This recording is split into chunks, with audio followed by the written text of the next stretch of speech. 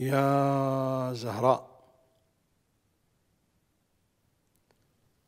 بسم الله الرحمن الرحيم.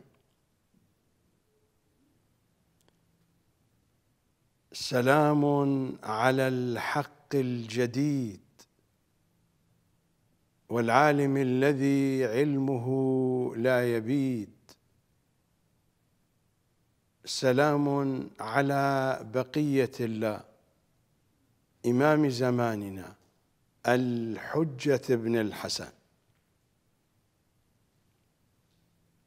وأنتم سلام عليكم.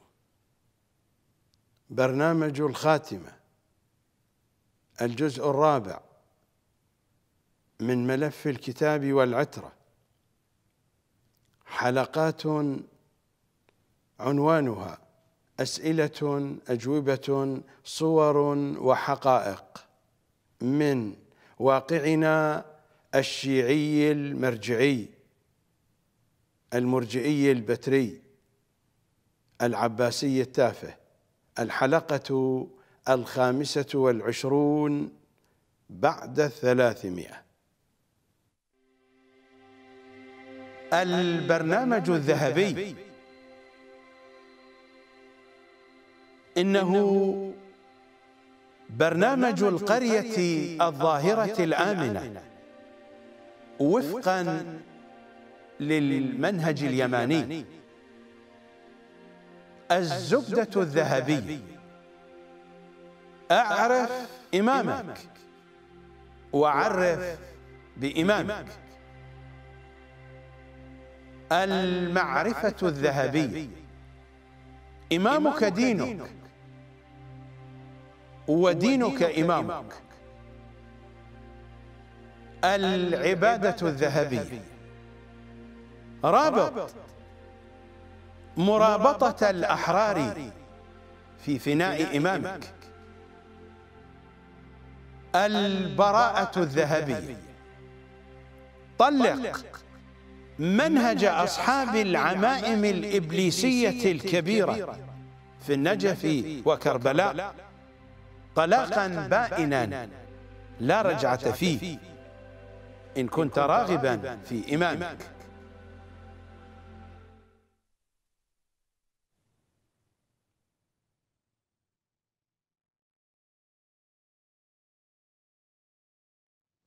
هذا هو الجزء الخامس من عنواننا الزيارة الجامعة الكبيرة وأتون التحريف.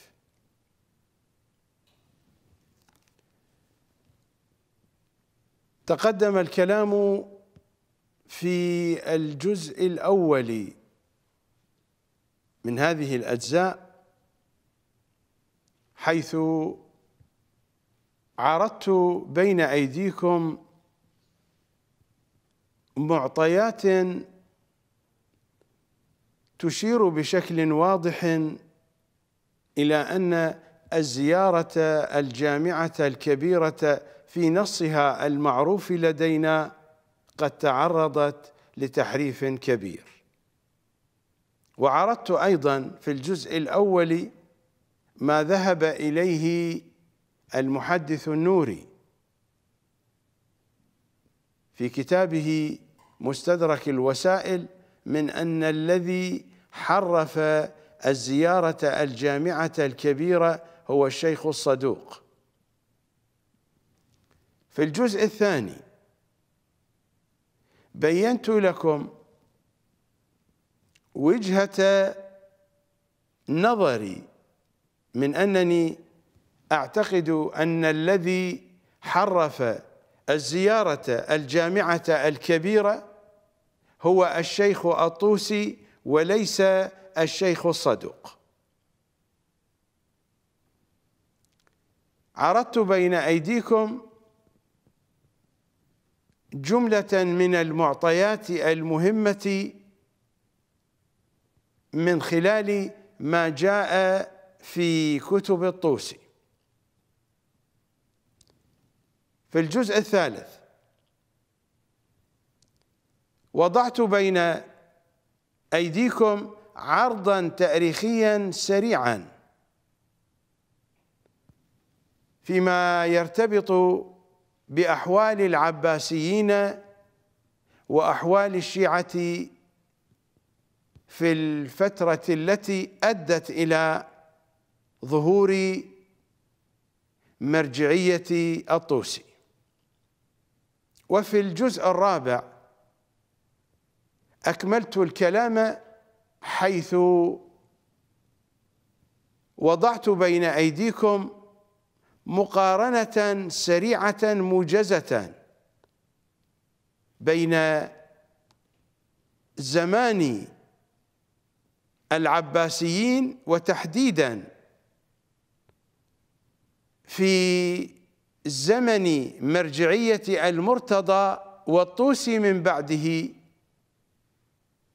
وما جرى في أيامنا في زمن مرجعية الخوئي والسيستاني من بعده.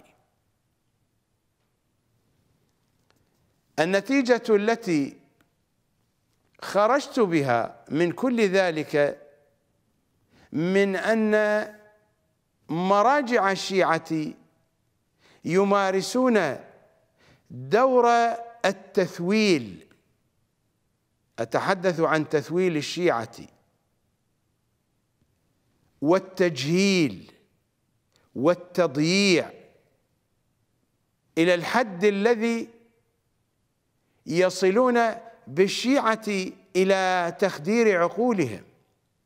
العقل الشيعي مخدر منذ سنة 448 للهجرة حينما أسس الطوسي حوزته المشؤومة في النجف. واستمرت عملية التخدير إلى يومنا هذا حيث برع السيستاني بنحو واضح في عملية تخدير العقل الشيعي عبر التثويل والتجهيل والتضييع. حينما يخدر العقل الشيعي فإن الشيعة سيتحولون إلى حمير المرجعية إلى حمير المراجع. وهذا هو الذي سيأخذهم في دروب الضلال إنها مرحلة التضليل. بالضبط مثلما وصف إمامنا الصادق صلوات الله وسلامه عليه أكثر مراجع التقليد عند الشيعة زمان الغيبة الكبرى من أنهم ضلوا وأضلوا الشيعة معهم. وهذا هو واقعنا الشيعي منذ سنة 448 حينما أسس الطوسي حوزته اللعينة في النجف.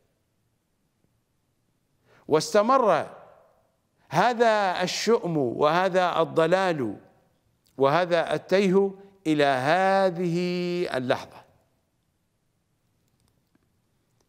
مراجع النجف وكربلاء يمارسون وبخبرة عالية تثويل الشيعة وتجهيلهم وتضييعهم وتخدير عقولهم وبعد ذلك يحولونهم إلى حمير كي يصعدوا على ظهورهم.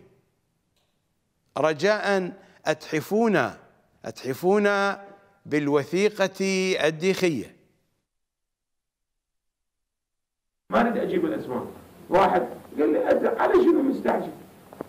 على شنو مستعجل؟ قلت له اخر بابا ما توصل النوبه الي قال توصل. اطمئنا تركبهم يعني مش الشيعة تركبهم وتقول لهم ديخ.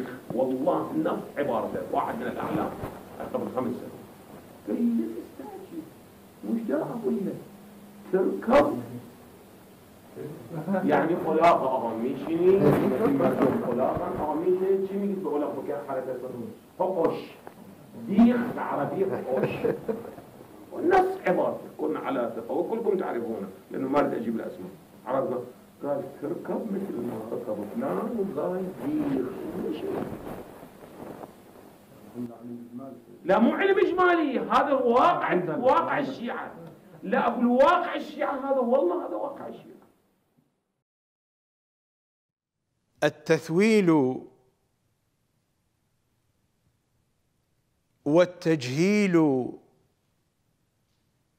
والتضييع كل ذلك يقود إلى تخدير العقل الشيعي كي يحول الشيعة إلى حمير ويركب على ظهورهم ويقول لهم ديخ ديخ. مثل ما يقول كمال الحيدري. والله هذا واقع الشيعة. هذا هو واقع الشيعة منذ سنة 448 للهجرة منذ أن أسس الطوسي المشؤوم حوزته المشؤومة اللعينة في النجف.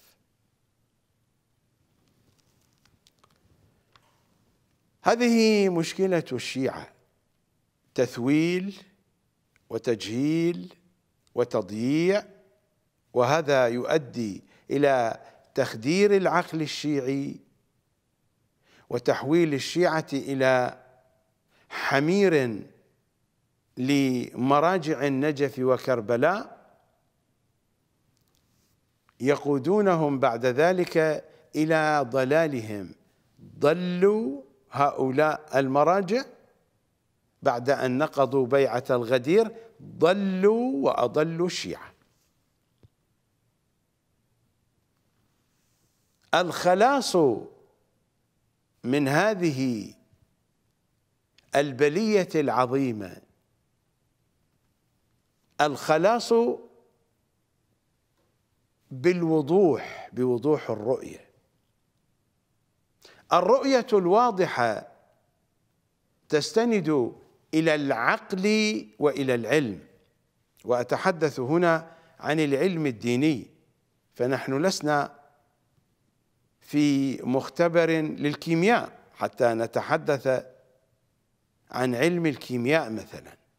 نحن في الأجواء الدينية فحينما نتحدث عن علم في الأجواء الدينية فهذا يعني أننا نقصد العلم الديني.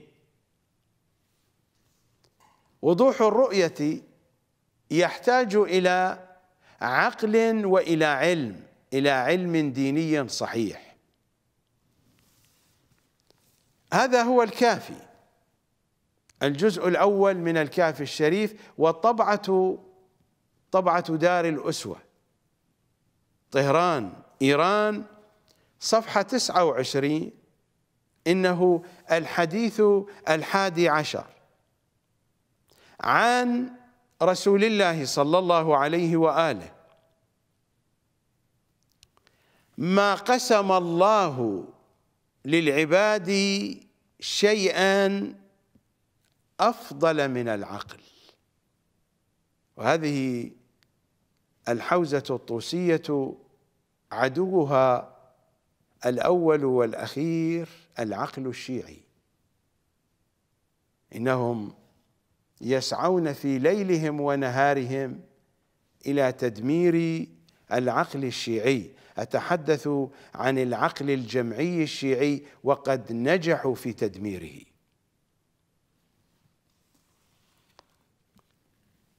النبي الأعظم صلى الله عليه وآله هو الذي يقول ما قسم الله للعباد شيئا أفضل من العقل فنوم العاقل أفضل من سهر الجاهل. من سهر الجاهل في عبادة أو في غير عبادة. فنوم العاقل أفضل من سهر الجاهل. وإقامة العاقل أن يبقى ساكنا مستقرا أفضل من شخوص الجاهل لغرض أن يعمل. الشخوص الانتقال. السفر الحركة. فنوم العاقل أفضل من سهر الجاهل وإقامة العاقل أفضل من شخوص الجاهل. ولا بعث الله نبيا ولا رسولا حتى يستكمل العقل ويكون عقله أفضل من جميع عقول أمته وما يضمر النبي في نفسه وهو المستوى العقلي الذي عليه النبي. وما يضمر النبي في نفسه أفضل من اجتهاد المجتهدين المجتهدون العاملون في ليلهم ونهارهم بإخلاص وجد واستمرار. وما يضمر النبي في نفسه أفضل من اجتهاد المجتهدين. وما أدى العبد فرائض الله حتى عقل عنه. ولا بلغ جميع العابدين في فضل عبادتهم ما بلغ العاقل والعقلاء هم أولو الألباب الذين قال الله تعالى وما يتذكر إلا أولو الألباب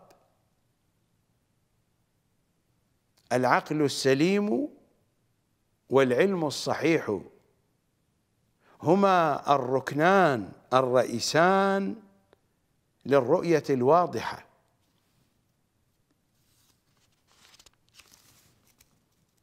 حديث آخر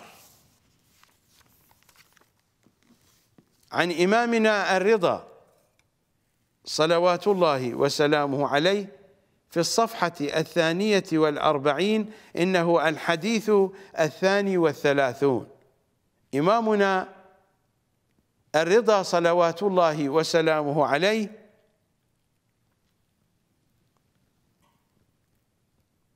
الذي ينقل لنا الرواية هو الحسن ابن الجهم. يقول ذكر عند إمامنا الرضا أصحابنا الشخصيات الشيعية وذكر العقل فقال إمامنا الرضا لا يعبأ بأهل الدين ممن لا عقل له. المتدين الذي لا يملك عقلا لا يعبأ به لا يهتم به إمام زمانه. ما الذي أضل الغلاة من السبئيين والنصيريين والخطابيين والمغيريين إلى بقية المجموعات. ما هو السبب في ضلال هؤلاء؟ عقائدهم الفاسدة. لماذا تمسكوا بالعقائد الفاسدة لقلة عقولهم ولجهلهم؟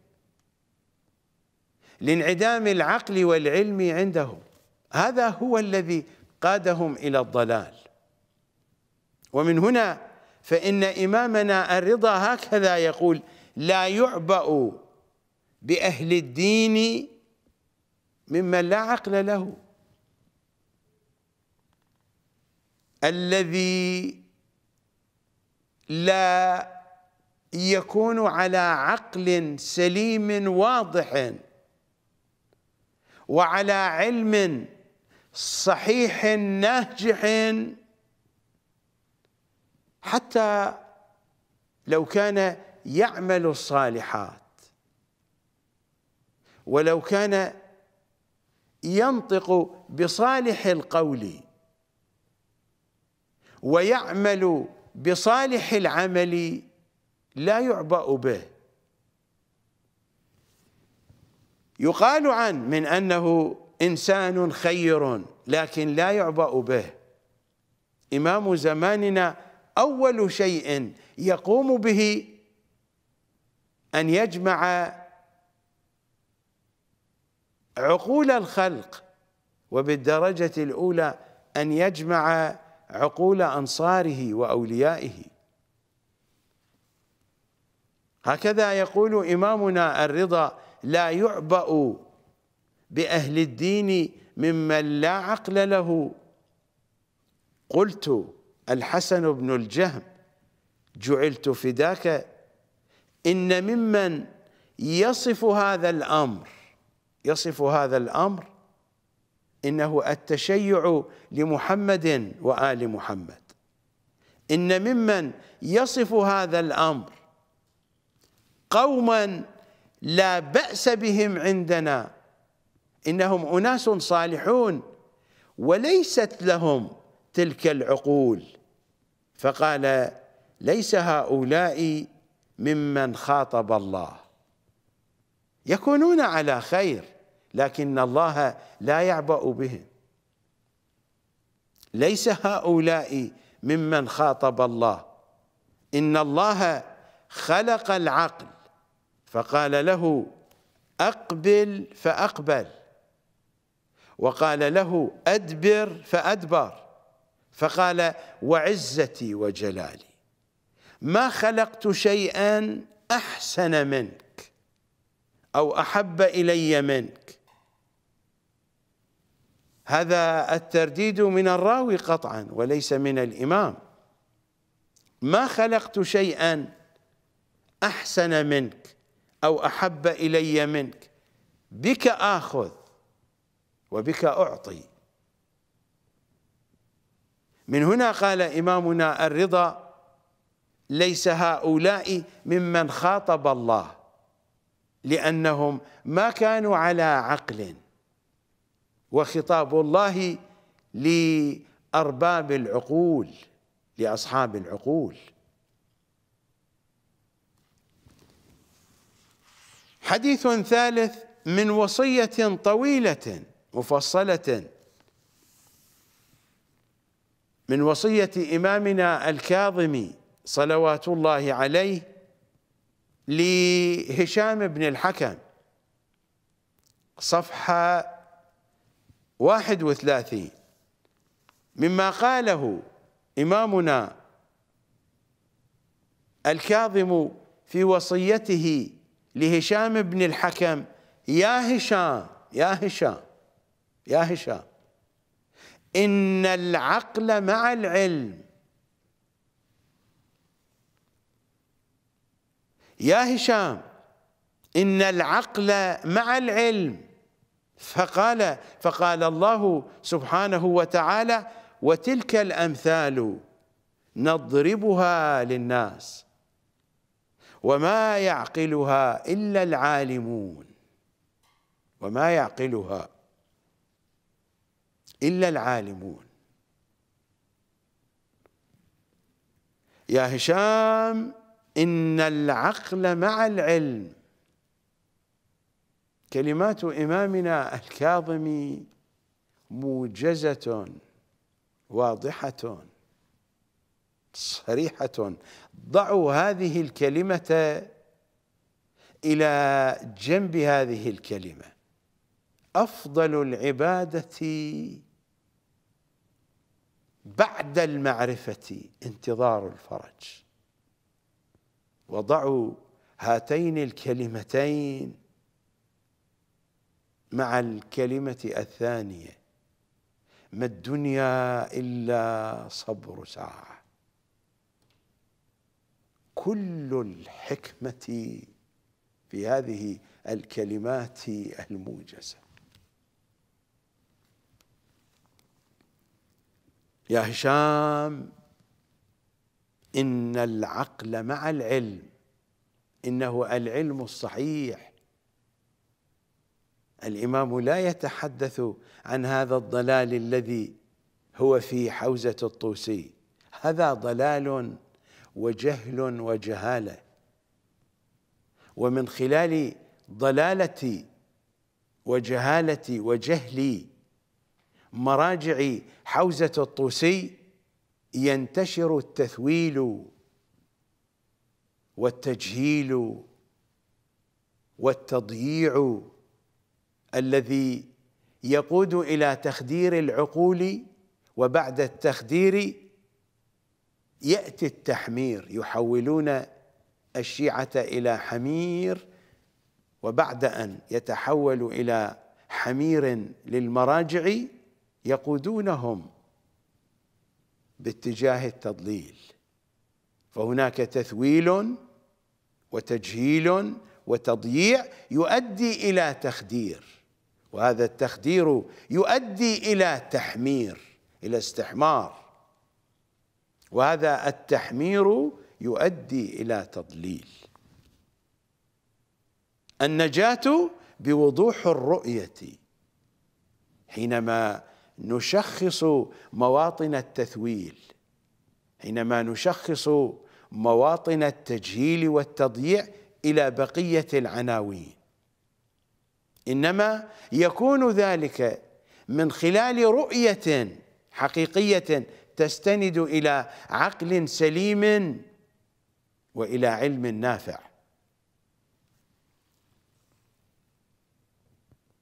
يا هشام إن العقل مع العلم. ثم يتلو إمامنا الآية الكريمة وتلك الأمثال نضربها للناس. وما يعقلها إلا العالمون. نذهب إلى فاصل.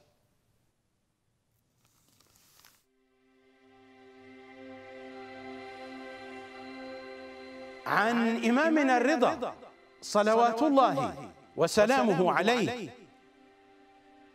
فمن ذا الذي يبلغ معرفة الإمام؟ أو يمكنه اختياره. هيهات هيهات. ضلت العقول وتاهت الحلوم. وحارت الألباب. وخسئت العيون. وتصاغرت العظماء. وتحيرت الحكماء. وتقاصرت الحلماء. وحصرت الخطباء وجهلت الألباء وكلت الشعراء وعجزت الأدباء وعيت البلغاء عن وصف شأن من شأنه أو فضيلة من فضائله وأقرت بالعجز والتقصير وكيف يوصف بكله أو ينعت بكنهه أو يفهم شيء من أمره أو يوجد من يقوم مقامه ويغني غناه. لا كيف وأن وهو بحيث النجم من يد المتناولين ووصف الواصفين.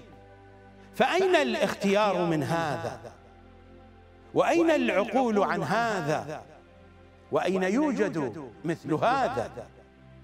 أتظنون أن ذلك يوجد في غير آل الرسول محمد صلى الله عليه وآله وسلم.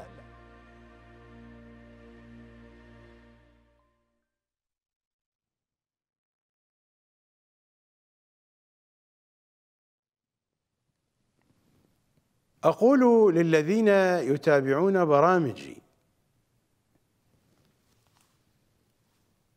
من أنني أتبع أسلوب الصورة المتكاملة الواحدة. في كل برامجي حينما أتحدث في مطلب من المطالب العقائدية مثلا أو في أي لون من ألوان المطالب الأخرى التي أبينها في برامجي واحاديثي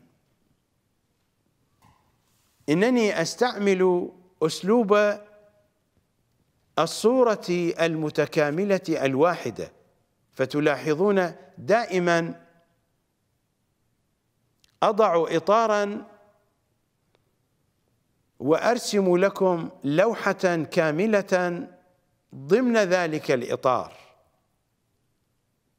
ما بين آيات الكتاب الكريم بتفسيرهم صلوات الله عليهم. وزياراتهم وأدعيتهم ورواياتهم وأحاديثهم وكلماتهم المفصلة الطويلة وعبائرهم الموجزة المختصرة. كل ذلك وفق منطق عقلي سليم واضح وعبر بيان أدبي عربي مبين. تلك هي الصورة المتكاملة الواحدة التي تمنح المتلقي الوضوح. إذا كانت المعطيات كثيرة فإنني أستعمل أسلوب الشاشات المتعددة. كي أقسم المعطيات بحسب كل شاشة من تلك الشاشات وبعد أن أكمل وضع المعطيات في كل شاشة من الشاشات المتعددة أستخلص لكم صورة متكاملة واحدة من كل الذي عرضته في تلك الشاشات المتعددة. وإنما ألجأ إلى أسلوب الشاشات المتعددة حينما تكون المعطيات كثيرة. حتى ينتظم الموضوع انتظاما وحتى تتناسق الأفكار تناسقا واضحا وبينا كي نصل إلى النتيجة بسهولة ويسر. إذ أن كل شاشة من الشاشات المتعددة تنظر إلى جهة إلى زاوية إلى لحاظ من لحاظات الموضوع الذي أتحدث عنه. فإن لم تكن المعطيات كثيرة وكثيرة جدا فإنني سأذهب إلى إنشاء الصورة الواحدة التي تتكامل بتكامل وتناسق أجزائها. بحيث إذا ما اكتملت الصورة لا يستطيع أحد أن ينكر جزءا من أجزائها ولا يستطيع أحد أن يتصور الصورة بحذف جزء من أجزائها. وكل هذا يدلك على صدق تلك المعطيات. لماذا؟ لأن الحقائق تحمل قيمتها في نفسها والحق هو الحق. الحق لا يطرأ عليه التغيير والتبديل. التغيير والتبديل يطرأ على الباطل أما الحق فلا يطرأ عليه التغيير والتبديل. يطرأ التغيير والتبديل على عقلي في تقييمي للحق فقد أراه باطلا. لكن الحق بما هو حق لن يطرأ عليه تغيير وتبديل. فمتى اعتدل عقلي رجعت إلى الحق ووجدته كما هو هو. الحق هو الحق. لا يتغير ولا يتبدل. الباطل هو الذي يتغير ويتبدل. ويلبس لباسا لكل زمن لكل حالة لكل وضعية. كي يأخذ أتباعه بالاتجاه الذي يريده إبليس. أما الحق فإنه يبقى ثابتا. هكذا نقرأ في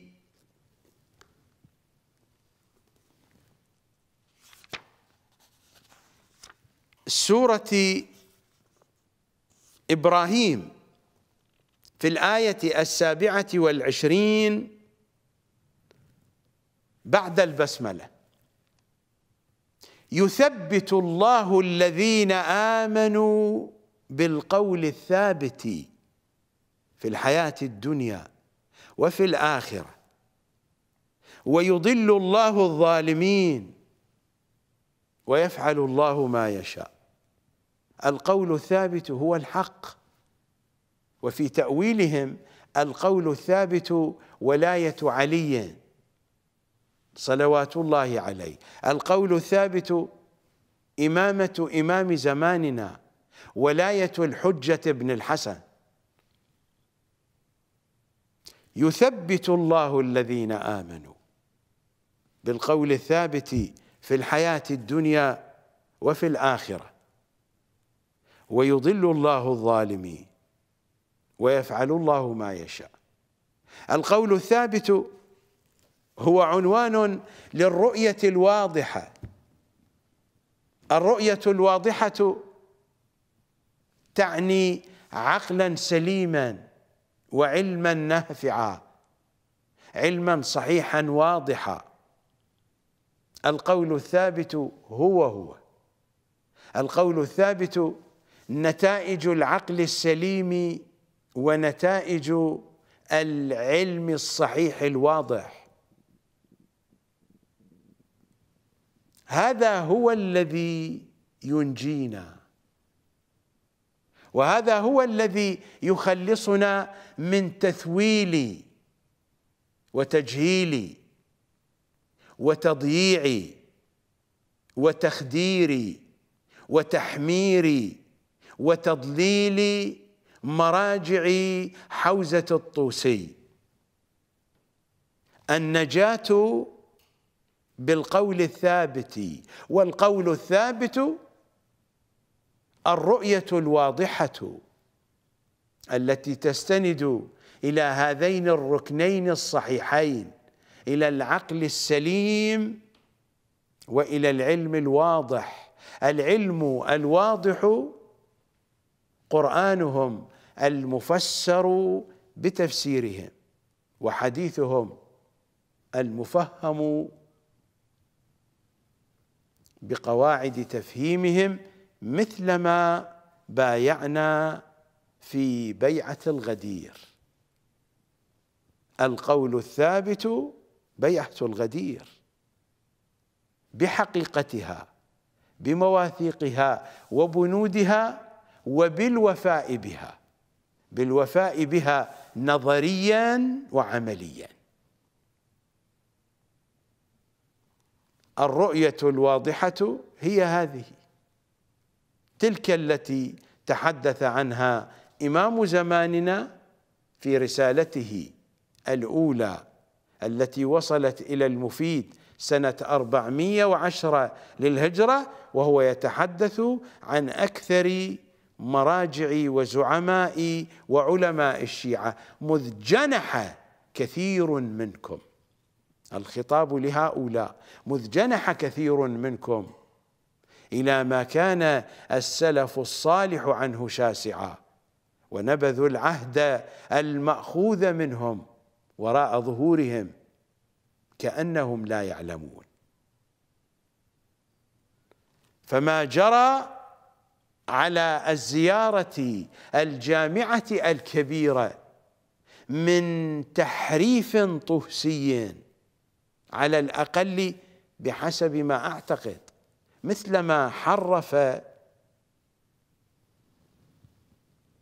الرسالة العملية لشيخه المفيد في نفس كتاب تهذيب الأحكام حرف الزيارة الجامعة الكبيرة. بنفس ذلك المنطق الناصبي القذر. بنفس عقائده الشافعية والأشعرية والمعتزلية. بنفس ذلك الذوق الوسخ مثلما حرف تفاصيل الصلاة التي ذكرها شيخه المفيد في المقنعة حرف كذلك الزيارة الجامعة والكلام كله في كتاب واحد. فأنا أتحدث عن تهذيب الأحكام. لا أريد أن أعيد الكلام المتقدم لكنني سأذهب بكم إلى فاصل.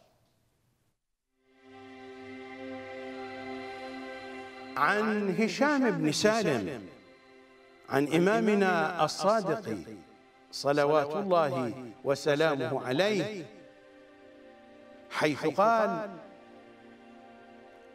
ما يكون هذا الأمر حتى لا يبقى صنف من الناس إلا وقد ولوا على الناس. حتى لا يقول قائل إنا لو ولينا لعدلنا. ثم يقوم القائم بالحق والعدل.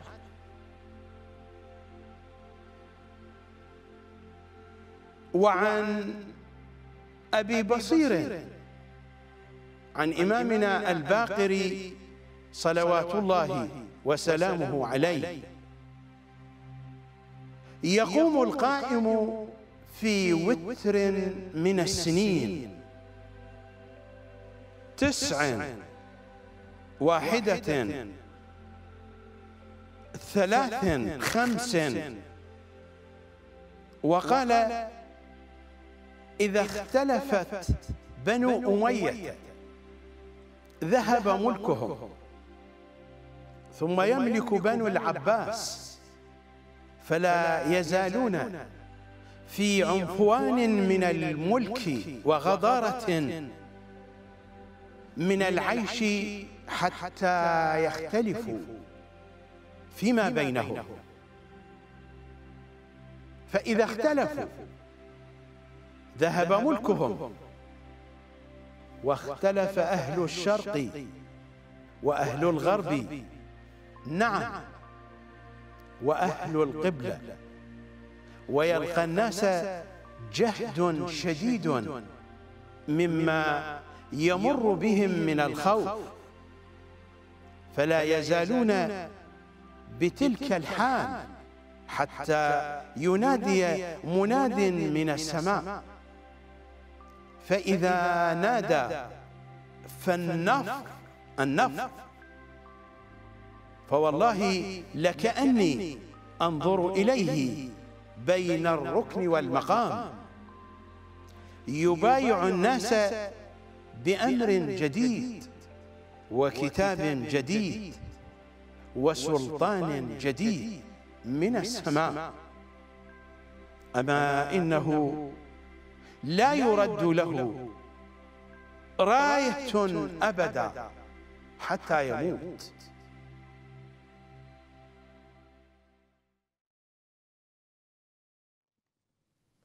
بعد كل البيانات التي تقدمت في الأجزاء الأربعة السابقة وفيما تحدثت به في هذه الحلقة بعد كل تلكم البيانات صار واضحا من أن الزيارة الجامعة الكبيرة تعرضت لتحريف ومن قبل علماء الشيعة. النواصب لا شأن لهم بمثل هذه الموضوعات. مشكلتنا عندنا مثل ما يقولون الحمى من الرجلين.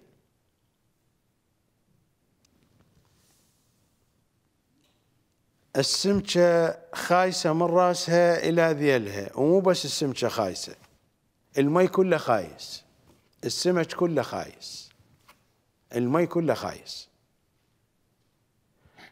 مشكلتنا منا وبينا على أي حال.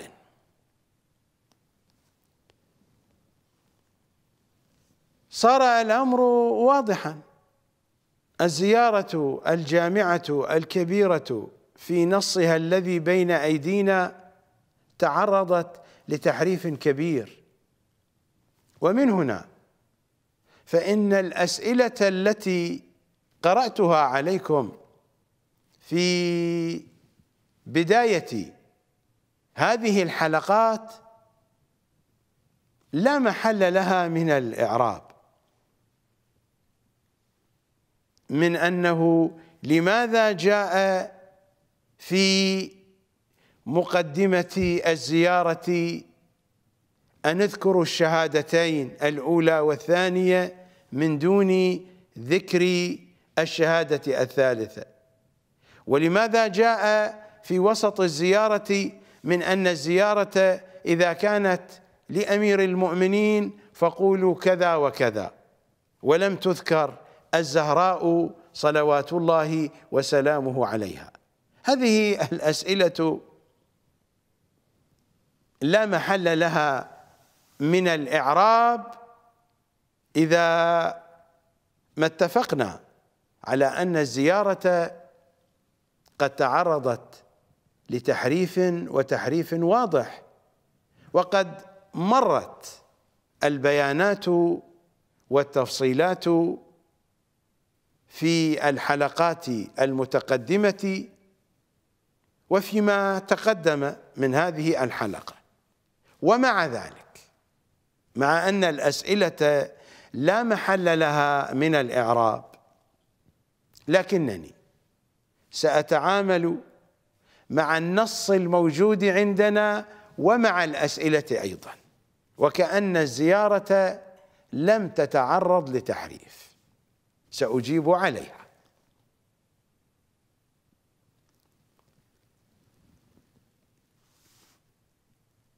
السؤال الأول أو الإشكال الأول لماذا ورد ذكر الشهادتين من دون ذكر الشهادة الثالثة؟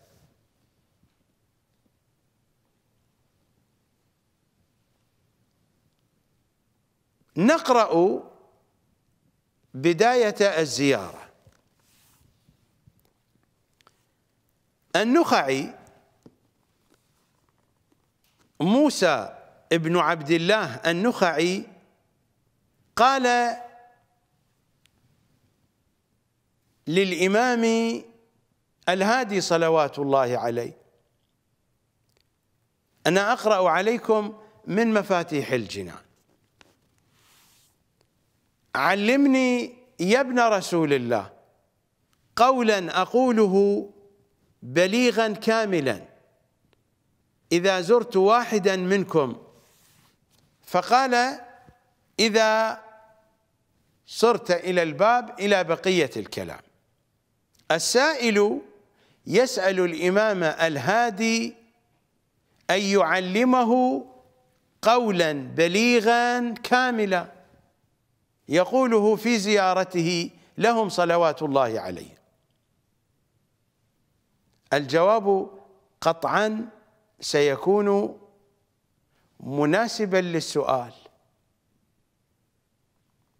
فالنخعي طلب من الإمام قولا بليغا كاملا قطعا بحسبه بحسب النخعي أن يعلمه علمني. علمني أنا أنا.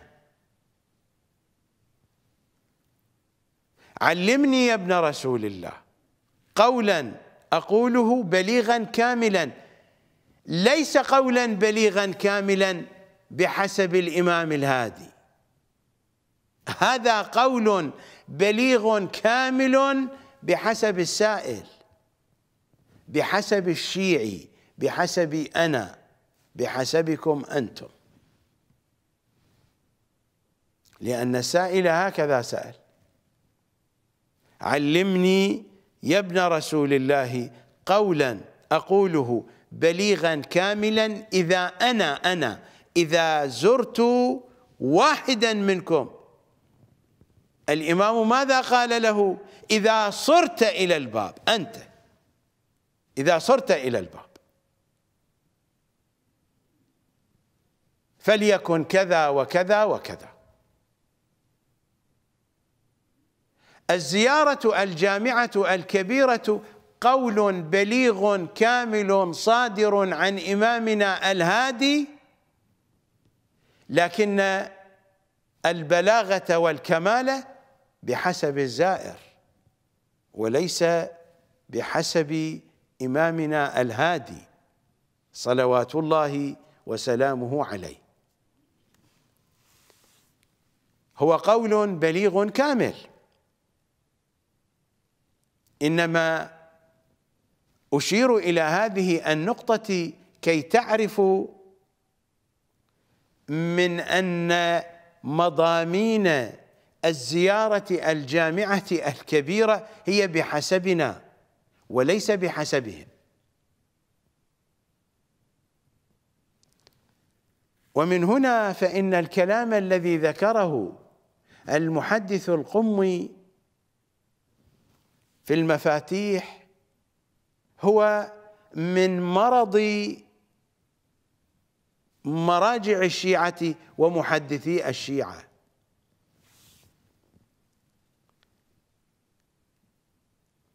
باعتبار أن في المقدمة هناك مئة تكبيرة يعلق المحدث القمي. شيخ عباس القمي صاحب المفاتيح يقول ولعل الوجه في الأمر بهذه التكبيرات هو الاحتراز عما قد تورثه أمثال هذه العبائر الواردة في الزيارة من الغلو أو الغفلة عن عظمة الله سبحانه وتعالى. فالطباع مائلة إلى الغلو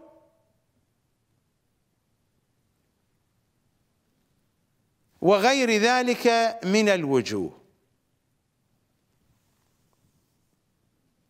هذا من الدودة المرجعية بالنتيجة عباس القمي من علماء الشيعة وعلماء الشيعة يعانون من هذه الدوده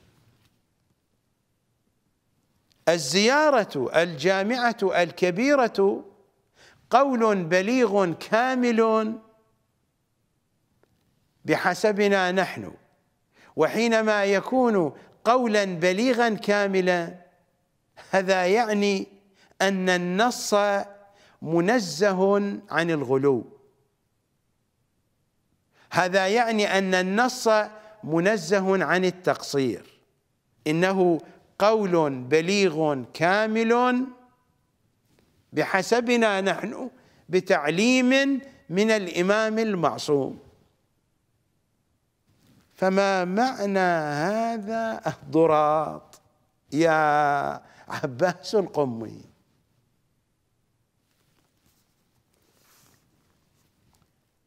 ولعل الوجه في الأمر. أنا أستعمل هذه العبارات تعتبرونها خارجة عن حدود الأدب براحتكم لا أبالي. تعتبرونها ليست مناسبة لشخص مثلي براحتكم لا أبالي. تتنفرون من برامجي ولا تتابعونها بسبب استعمالي لهذه الكلمات براحتكم. لا أبالي. إنني أريد أن أضع النقاط على الحروف. لا أدري كم سأعيش. لابد أن أوضح المطالب. أنا أحدثكم عن الرؤية الواضحة. أريد أن أنفر أبنائي وبناتي من شباب شيعة الحجة بن الحسن من هراء هؤلاء العلماء. أريد أن أنفرهم حتى لو تنفر الآخرون مني. ليس مهما هذا عندي. أنا سأموت وأنسى. لقد عاصرت الكثير من الشخصيات التي دوخت الدنيا. ماتوا ونسوا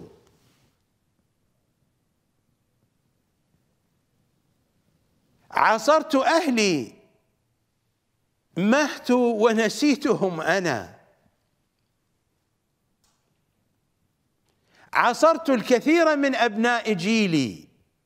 رحلوا عن الدنيا بمختلف الأسباب. نسيتهم أنا ونساهم غيري.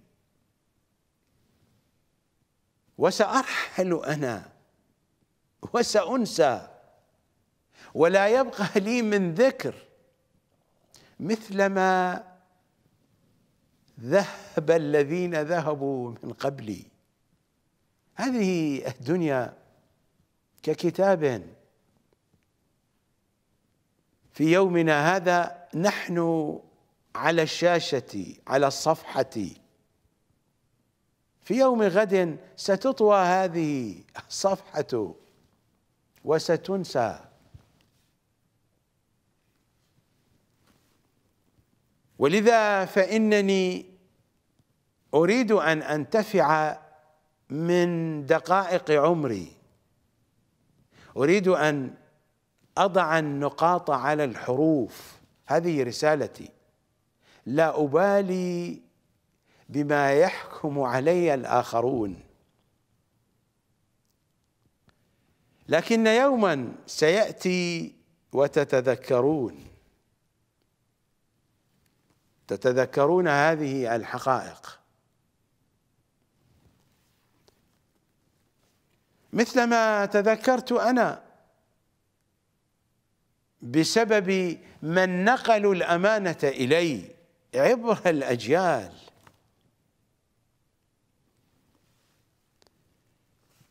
ما هي الدنيا أيام أيام أيام وتنقضي أيام وتنقضي.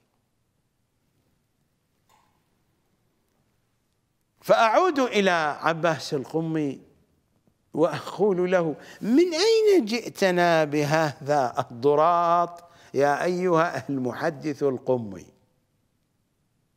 السائل سأل الإمام الهادي قولا بليغا كاملا الإمام أجابه قطعا سيكون كلامه في غاية البلاغة والكمال بحسبنا بعيدا عن التقصير وبعيدا عن الغلو. على أي حال لا شأن لي لا بالمحدث القمي ولا بهرائه.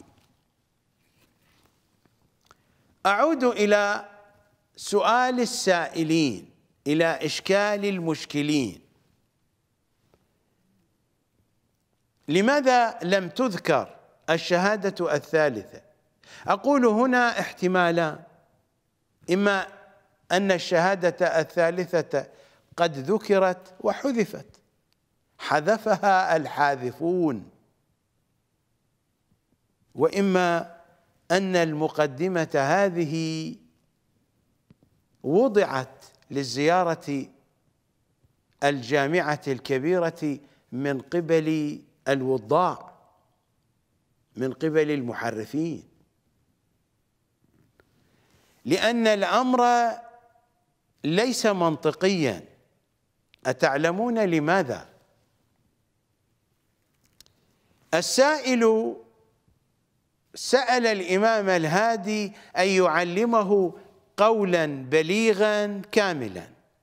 الجواب لا بد أن يكون بحسب سؤال السائل.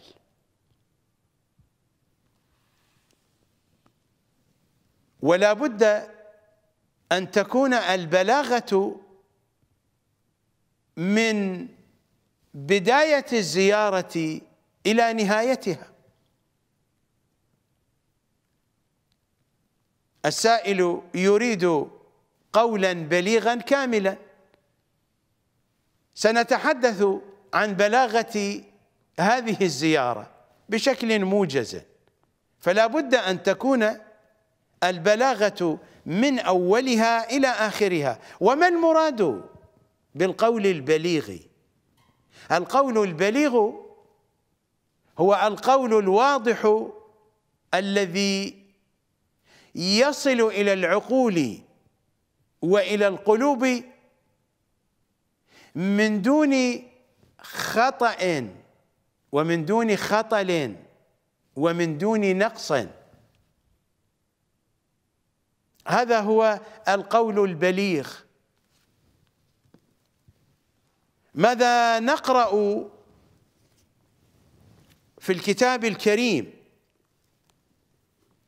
في سورة المائدة في الآية السابعة والستين بعد البسملة من السورة؟ يا أيها الرسول بلغ ما أنزل إليك من ربك قطعا سيكون هذا التبليغ بليغا. فإن التبليغ من الله والمبلغ رسول الله. يا أيها الرسول بلغ ما أنزل إليك من ربك وإن لم تفعل فما بلغت رسالته. فإنك لا أوصلت الرسالة ولا كنت بليغا. لأن البلاغة شرط في ذلك التبليغ. وإلا لن يكون ذلك التبليغ مثل ما يريد الله. البلاغ والتبليغ من الله بليغ. ولا بد أن يوصله رسول الله بنفس البلاغة والوضوح. يا أيها الرسول بلغ ما أنزل إليك من ربك وإن لم تفعل فما بلغت رسالته. فأصل التبليغ وأصل البلاغة هو هذا. إنها بيعة الغدير إنها ولاية علي.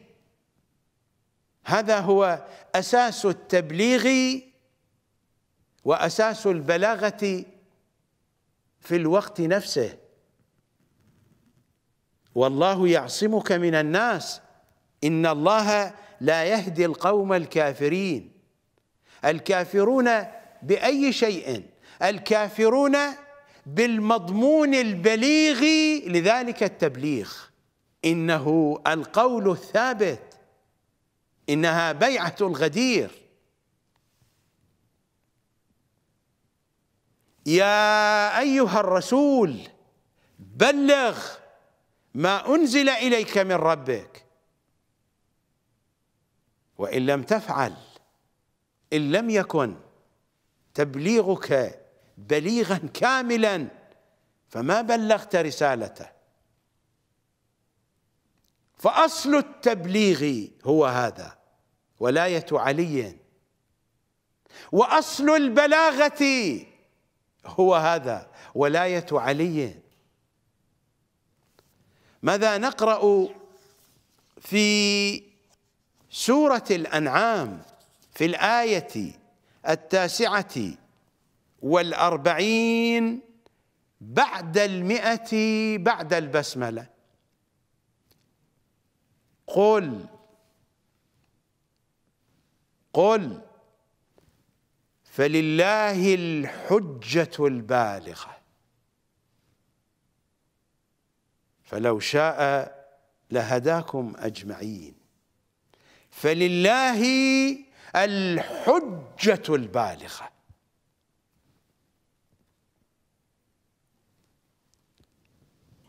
وإن لم تفعل فما بلغت رسالته.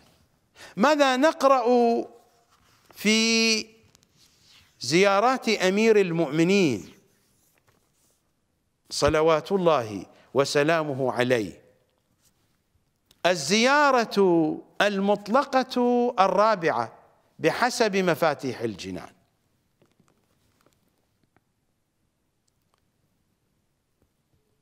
مروية عن إمامنا الباقري صلوات الله وسلامه عليه يقول ذهبت مع أبي إلى زيارة قبر جدي أمير المؤمنين علي بن أبي طالب في النجف فوقف أبي عند القبر المطهر وبكى وقال السلام على أبي الأئمة. إلى أن يقول السلام على حجة الله البالغة ونعمته السابقه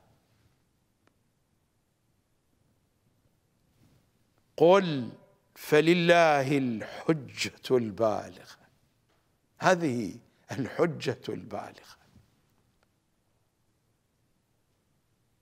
يا أيها الرسول بلغ بلغ ما أنزل إليك من ربك. وإن لم تفعل فما بلغت رسالته. فلله الحجة البالغة. الباقر هكذا يقول وقف السجاد على قبر الأمير وبكى وقال السلام على أبي الأئمة. يا أمير المؤمنين السلام على حجة الله البالغة ونعمته السابقة. هذه هي الحجة البالغة. فكيف يكون القول بليغا من دون ذكرها؟ كيف يكون القول بليغا في الزيارة الغديرية؟ وهي من أعظم الزيارات العلوية الأميرية. وردتنا عن سيد الزيارة الجامعة الكبيرة. وردتنا عن إمامنا الهادي. صلوات الله وسلامه عليه. هكذا نقرأ في الزيارة الغديرية. نخاطب أمير المؤمنين مولاي مولاي. أنت الحجة البالغة والمحجة الواضحة والنعمة السابغة والبرهان المنير. ومن غيرك؟ ومن غيرك يا أمير؟ مولاي أنت الحجة البالغة أنت الحجة البالغة. وهكذا نقرأ في دعاء الندبة الشريف نخاطب صاحب الأمر. يا ابن الصراط المستقيم يا ابن النبأ العظيم. يا ابن من هو؟ في أم الكتاب لدى الله علي حكيم. يا ابن الآيات والبينات. يا ابن الدلائل الظاهرات. يا ابن البراهين الواضحات الباهرات يا ابن الحجج البالغات يا ابن النعم السابغات.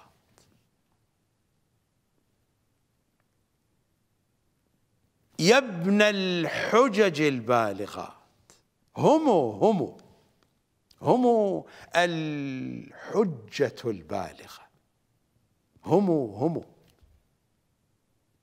يا ابن الحجج البالغات يا ابن النعم السابغات يا ابن طه والمحكمات يا ابن ياسين والذاريات يا ابن الطور والعاديات يا ابن من دنا فتدلى فكان قاب قوسين أو أدنى. دنوا واقترابا من العلي الأعلى. محمد وآل محمد هم الحجج البالغة. والعنوان الذي يشيرون إليه جميعا. يشير إليه محمد وتشير إليه الزهراء. ويشير إليه أولاد الزهراء من المجتبى إلى القائم. العنوان الحجة البالغة على الإطلاق. علي علي علي. مثلما قرأت عليكم من الزيارة الغديرية ونحن نخاطبه مولاي أنت الحجة البالغة.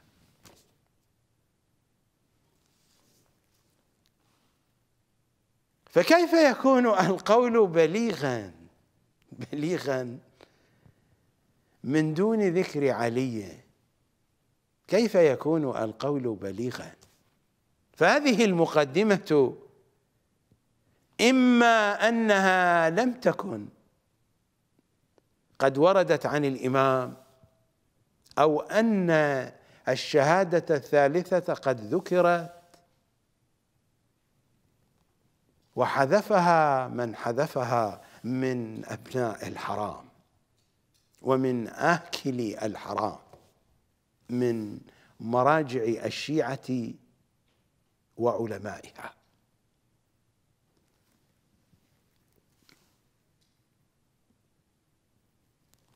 وإلا فإن الأمر لا يستقيم فإن السائل طلب من الإمام الهادي قولا بليغا كاملا. القول البليغ لا يمكن أن يكون بهذه الصيغة من دون ذكر الشهادة الثالثة. وأعتقد أن معنى القول البليغ صار واضحا لديكم من خلال آيات الكتاب الكريم ومن خلال كلماتهم وزياراتهم الشريفة. نذهب إلى فاصل.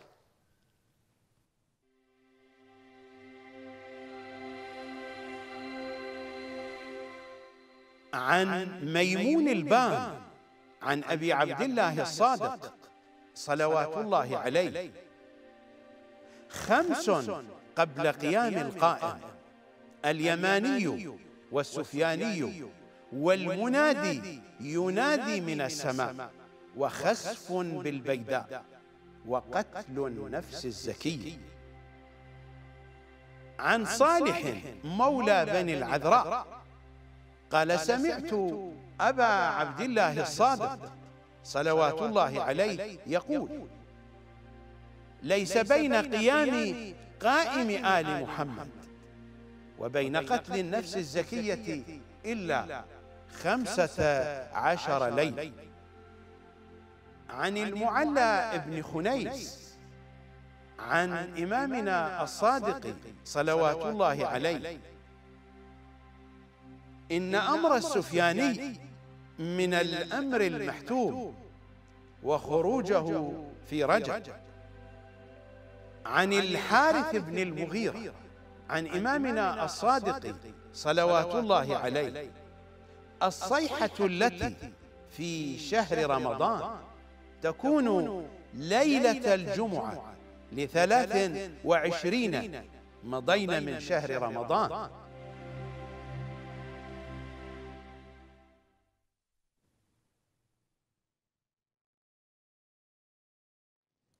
حينما سأل النخعي إمامنا الهادي أن يعلمه قولا بليغا كاملا حتى إذا أردنا أن نغض الطرف عن القول البليغ كما بينته لكم. إنه طلب قولا كاملا. أنا أسألكم أنتم هل ذكر الشهادتين من دون الشهادة الثالثة وفي مقام زيارتهم صلوات الله عليهم وبحسب المضمون الذي تحدثت عنه عبائر الزيارة الجامعة الكبيرة. هل يكون هذا قولا كاملا؟ ماذا تقولون أنتم؟ إمامنا الصادق والرواية في هذا المصدر في الاحتجاج. الرواية التي نقلها لنا القاسم ابن معاوية. رواية مفصلة لا مجال لقراءتها والتي في آخرها إمامنا الصادق يقول فإذا قال أحدكم لا إله إلا الله. محمد رسول الله فليقل علي أمير المؤمنين. حتى إذا أردنا أن نحمل قول الإمام على الاستحباب وعلى الندب وهو ليس كذلك لأن الإمام استعمل صيغة الفعل المضارع المصحوب بلام الأمر. فإذا قال أحدكم لا إله إلا الله محمد رسول الله فليقل. فعل مضارع مع لام الأمر. فليقل. علي أمير المؤمنين.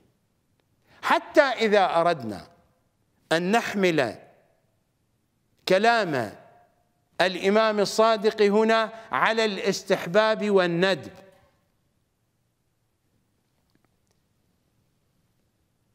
سيكون ضروريا في مقدمة الزيارة الجامعة الكبيرة. فإن ذكر الشهادتين لوحدهما من دون ذكر الشهادة الثالثة سيكون قولا ناقصا حتى بلحاظ أننا نحمل كلام الإمام الصادق على الاستحباب. لأن السائل سأل الإمام الهادي أن يعلمه قولا بليغا كاملا كي يقوله عند زيارتهم صلوات الله عليهم. فحينما جاء متن الزيارة بهذه البلاغة وهذا العمق فلا بد أن تكون المقدمة مناسبة لتلك البلاغة ولذلك العمق. فلا بد أن يكون القول قولا كاملا وبغض النظر عن كل ذلك. ماذا يقول القرآن؟ القرآن في الآية الثالثة بعد البسملة من سورة المائدة ماذا يقول؟ اليوم أكملت لكم دينكم.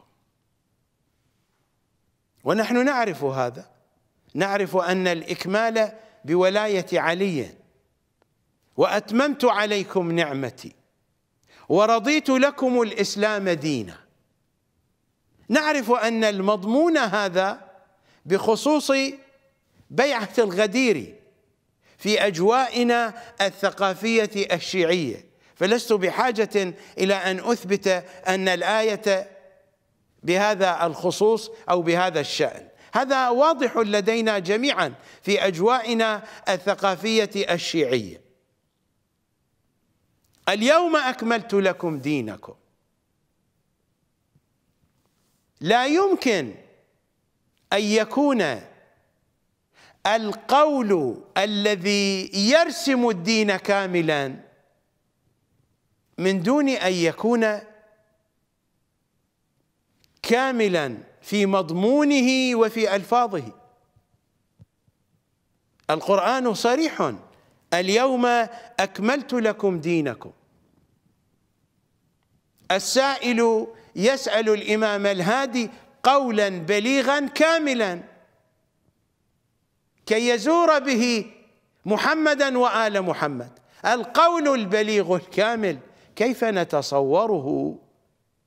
من دون ذكر الشهادة الثالثة إلى جنب الشهادة الأولى والثانية.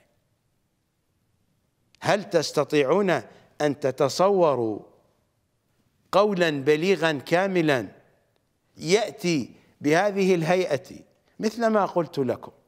إما أن الشهادة الثالثة قد ذكرت وحذفها أبناء الحرام من مراجع وعلماء الشيعة وإما أن النص هذا قد وضعه بعض أبناء الحرام من مراجع وعلماء الشيعة جعله مقدمة لهذه الزيارة. الكلام ليس منطقيا. لماذا؟ بغض النظر عن كل التفاصيل التي ذكرتها. في معنى القول البليغ والقول الكامل بغض النظر عن كل هذا. السائل سأل الإمام قولا بليغا كاملا. القول البليغ الكامل خصوصا إذا كان يمثل فكرة يمثل عقيدة يمثل مضمونا مهما وكانت له مقدمة. يشترط يشترط في تلك المقدمة أن تكون مشتملة على ما يسمى في البلاغة والأدب العربي ببراعة الاستهلال. البراعة تعني الإبداع والاستهلال يعني الافتتاح. ولذا يقال لبكاء الطفل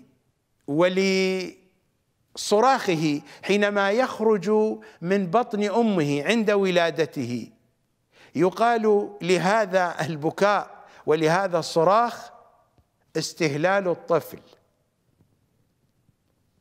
فيسأل عن الطفل هل استهل؟ فذلك دليل على سلامته ودليل على حياته ودليل على صحته وعافيته. حينما يخرج باكيا صارخا من بطن أمه. الاستهلال الافتتاح. مثلما يقال عن سورة الفاتحة من أنها أفضل مثال في البلاغة على براعة الاستهلال لأن سورة الفاتحة على صغرها تشتمل على أهم الخطوط التي تحدث القرآن عنها من أوله إلى آخره. فأفضل مثال في البلاغة على براعة الاستهلال سورة الفاتحة. وهكذا.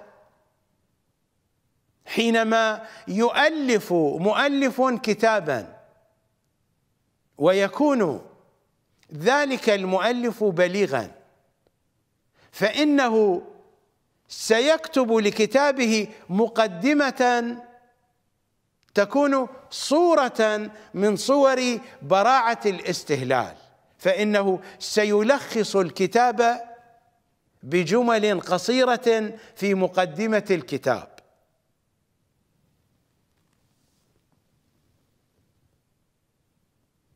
أئمتنا هم سادة البلاغة وسادة البيان. فحينما يأتي إمامنا الهادي ويضع مقدمة لهذه الزيارة لا بد أن تكون المقدمة مشتملة على براعة الاستهلال. يعني أن المقدمة تشتمل على الخطوط الإجمالية لمضمون الزيارة الجامعة الكبيرة.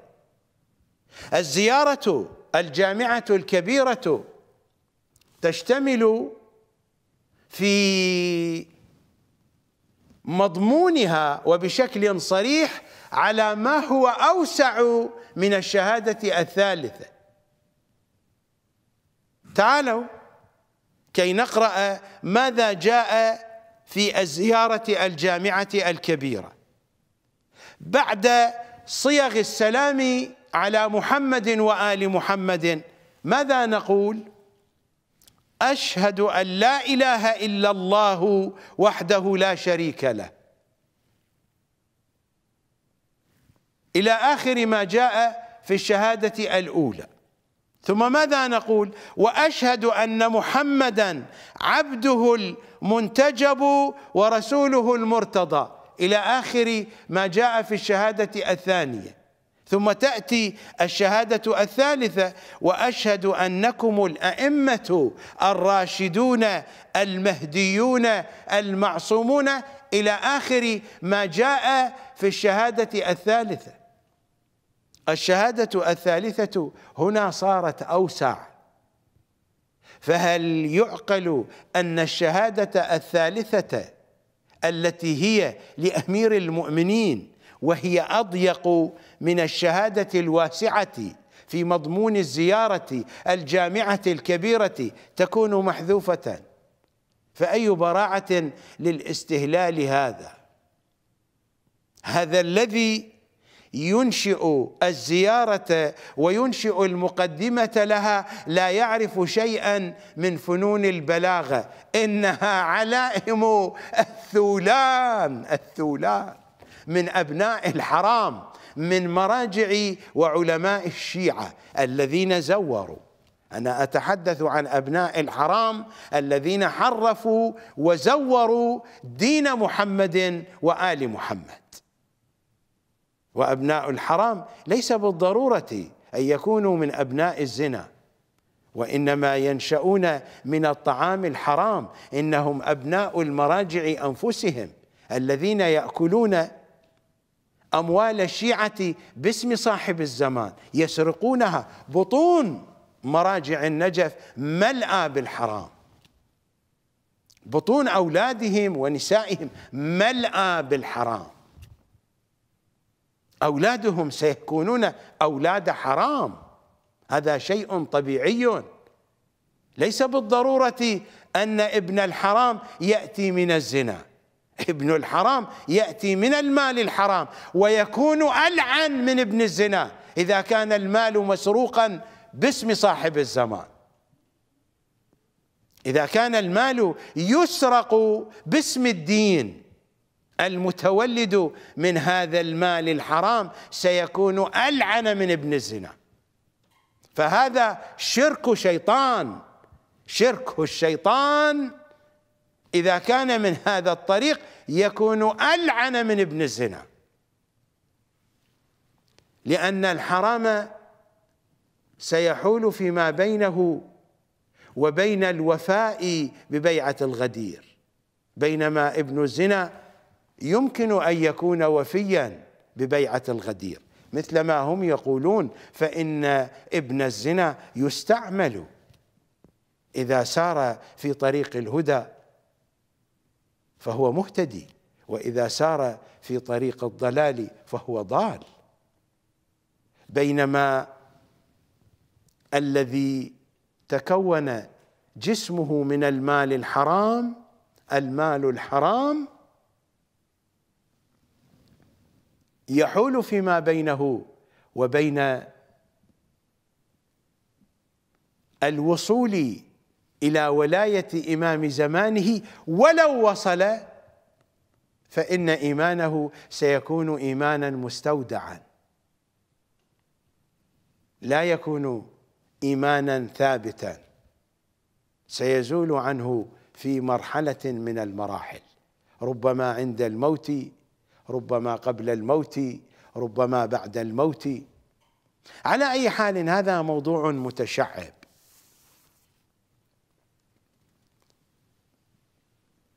فإذا كان السائل يريد قولا بليغا ببلاغة العرب بعيدا عن بلاغة العقيدة والدين بعيدا عن المضامين التي حدثتكم عنها قبل قليل عن معنى البليغ ومعنى الكامل استنادا إلى الآيات والنصوص المعصومية.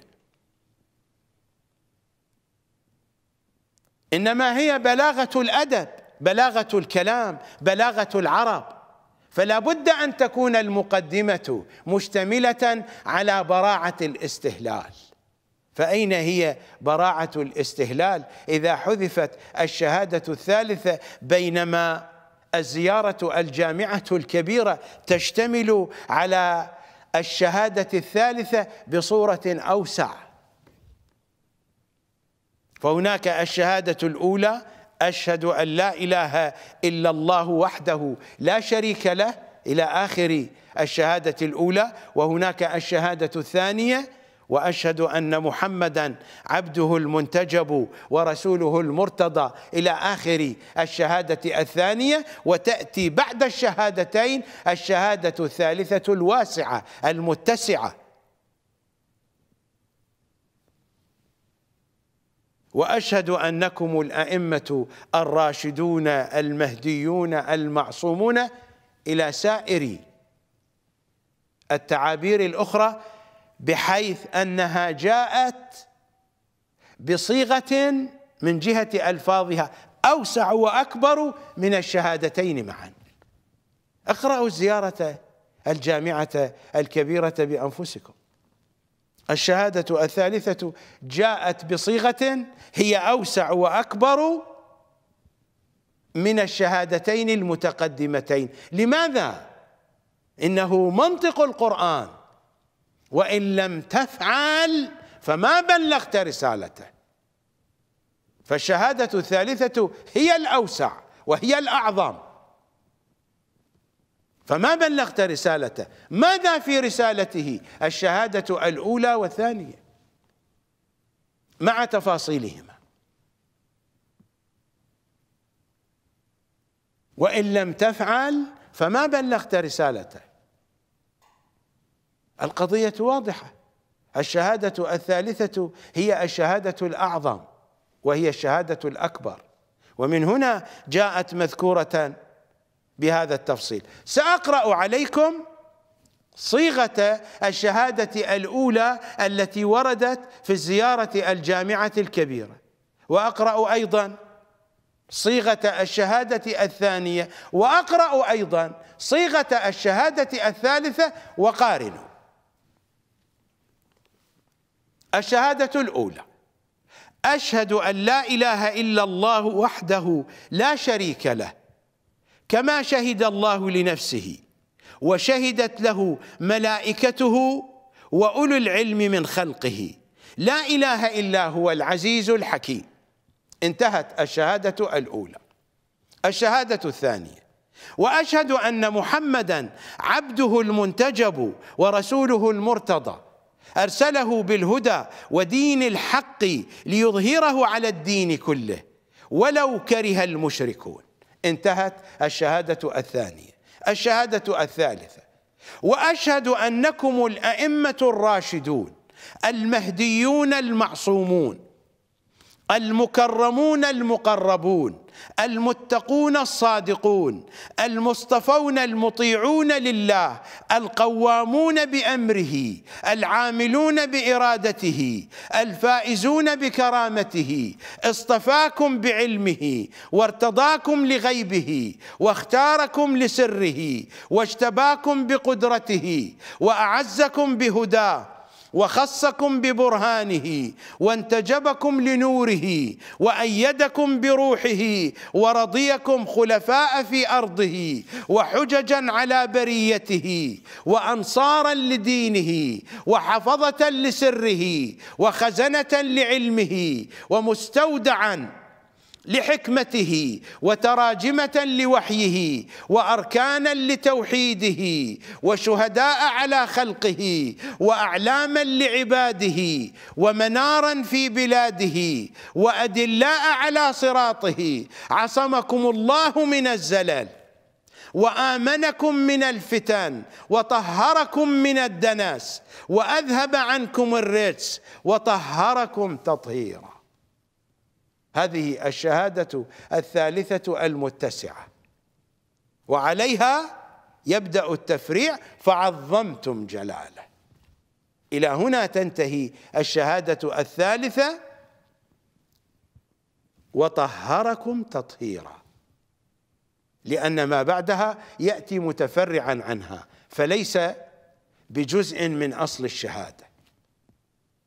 لاحظتم كم أن الشهادة الثالثة. كم أنها طويلة ومفصلة ومتسعة لأنها أصل الأصول. فكيف لا يأتي هذا المضمون في مقدمة الزيارة؟ إما أن تكون المقدمة قد حرفت كانت تشتمل على الشهادة الثالثة وإما أن المقدمة أساسا وضعها من وضعها مثلما أخذ يهذي عباس القمي بهذا الكلام من أن التكبيرات ذكرت لدفع الغلو. وهو أيضا حرف النص هو قال من أنه نقل النص من الفقيه والعيون. وقد قرأت عليكم النص في الفقيه والعيون كان خليا من ذكر الشهادتين بألفاظهما. ألفاظ الشهادتين أضافهما إلى النص المحدث القمي. ما هم يعبثون كما يريدون ويلعبون بالنصوص براحتهم. هذا هو واقع علماء الشيعة. اذا أين بلاغة الإمام الهادي حينما تكون مقدمة الزيارة خلية من براعة الاستهلال؟ والسائل قد سأل أن يعلمه قولا بليغا كاملا. لا بد أن تكون المقدمة إذا كانت صادرة عن إمامنا الهادي أن تكون مشتملة على براعة الاستهلال. أن الخطوط العامة على الأقل تكون موجودة في مقدمة الزيارة. فعلى الأقل أن تكون الشهادة العلوية الثالثة التي تشير إلى الشهادة الثالثة المتسعة المفصلة في داخل نص الزيارة الجامعة الكبيرة. أعتقد أن الصورة باتت واضحة وواضحة جدا. نذهب إلى فاصل.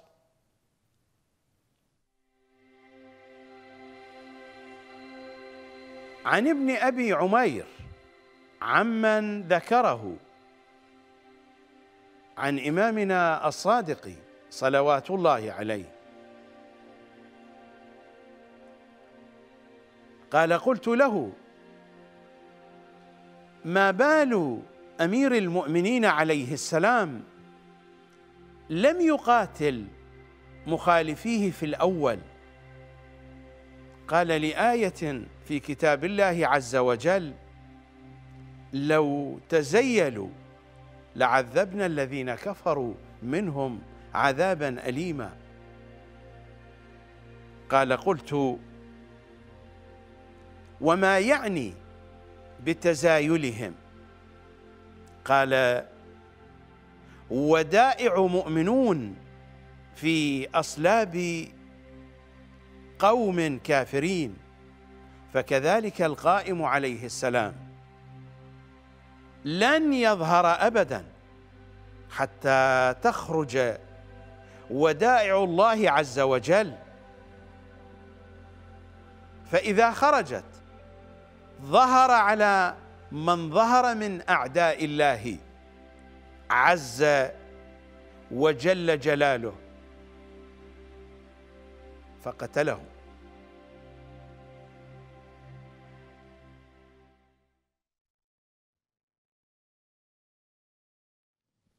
أما الإشكال الثاني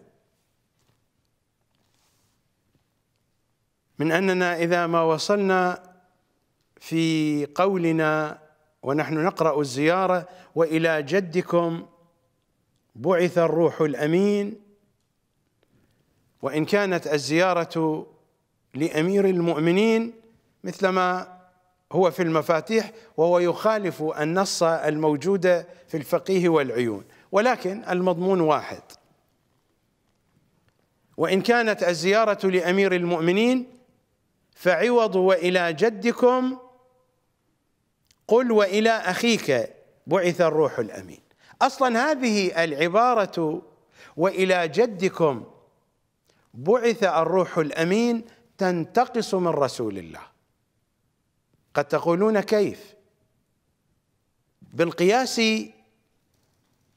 إلى العبارة التي قبلها. هذا تحريف من مراجع وعلماء الشيعة. الزيارة مخرومة هنا. عودوا إليها بأنفسكم.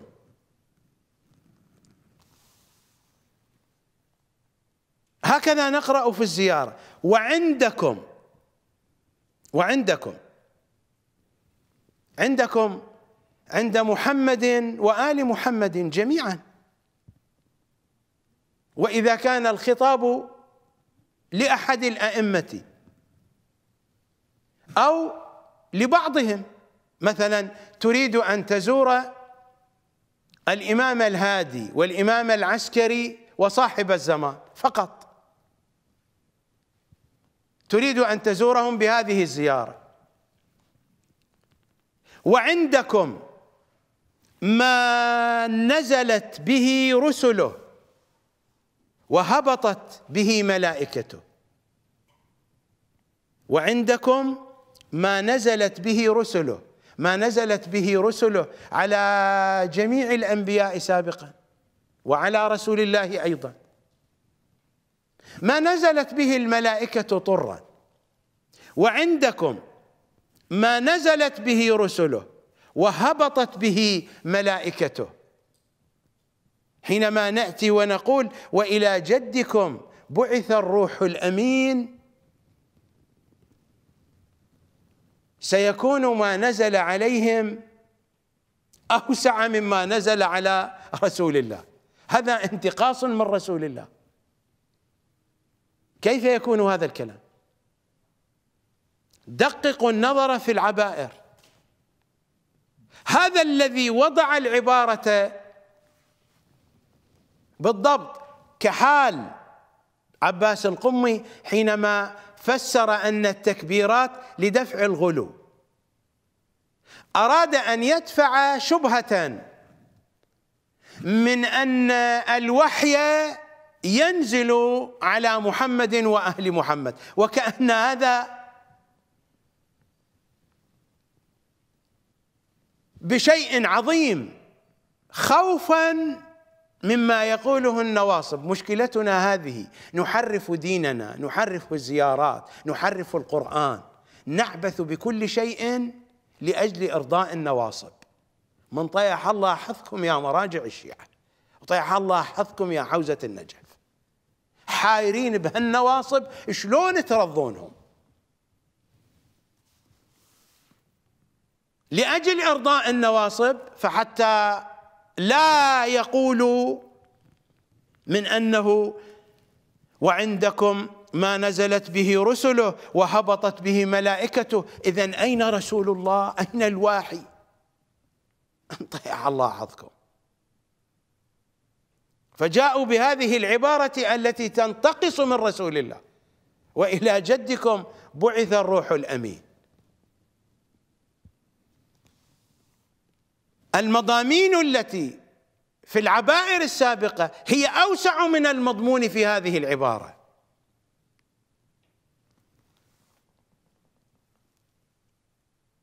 وإلى جدكم بعث الروح الأمين آتاكم الله ما لم يؤت أحدا من العالمين.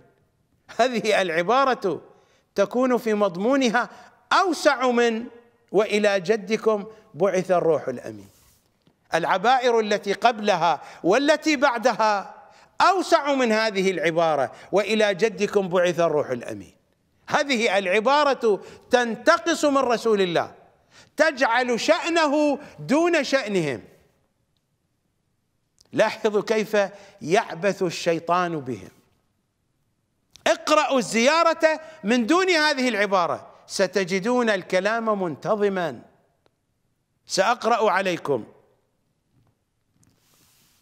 وعندكم ما نزلت به رسله وهبطت به ملائكته. آتاكم الله ما لم يؤت أحدا من العالمين. طأطأ كل شريف لشرفكم وبخع كل متكبر لطاعتكم وخضع كل جبار لفضلكم وذل كل شيء لكم وأشرقت الأرض بنوركم. الصيغة واضحة. والبلاغة صريحة. إذا أدخلنا وإلى جدكم بعث الروح الأمين سيحدث خلل من أننا نصف النبي بوصف هو دونهم دون مقامهم مع أن العبائر تتحدث عن محمد وآل محمد جميعا. وذل كل شيء لكم. الكلام عن محمد وآل محمد جميعا. وعندكم ما نزلت به رسله وهبطت به ملائكته. هذا الخطاب موجه لمحمد وآل محمد جميعا. القرآن حين تحدث عن نفسه. فماذا قال؟ وما يعلم تأويله إلا الله والراسخون في العلم.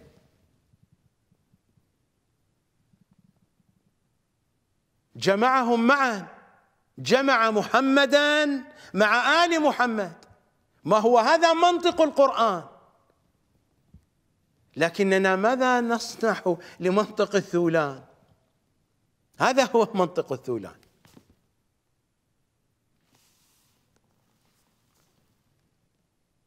ثم أي كلام هذا؟ إذا كانت الزيارة لأمير المؤمنين فقل كذا. والزهراء لم تذكر. ماذا تقرؤون في مقدمة الزيارة؟ ماذا تقرؤون؟ السلام عليكم يا أهل بيت النبوة. من هم أهل بيت النبوة؟ أنا لا أسأل عالم لغة ولا أسأل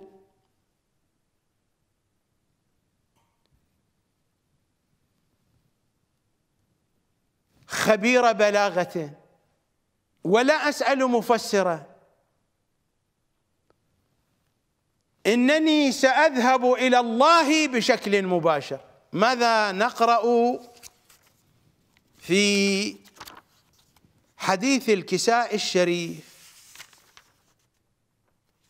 الذي حدثتنا به الزهراء.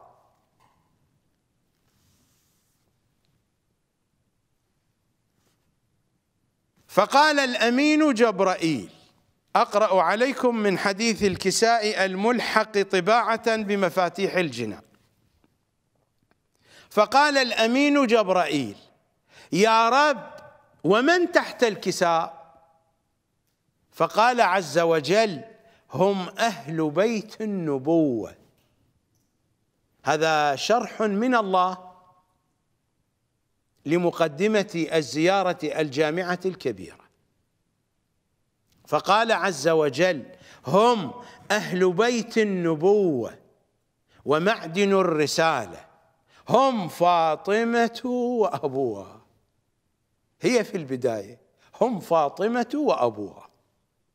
أبوها انتمى إليها.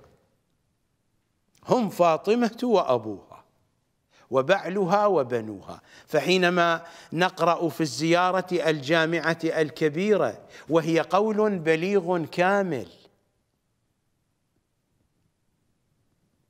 حينما لا ندخل فاطمة هذا يعني أن الله حينما يتكلم فكلامه ليس بليغا كاملا. ماذا تقولون أيها الديخيون النوابخ ماذا تقولون؟ من طيع الله حظكم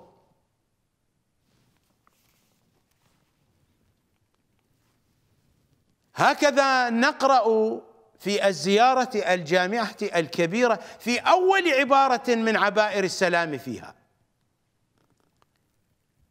السلام عليكم يا أهل بيت النبوة يا أهل بيت النبوة.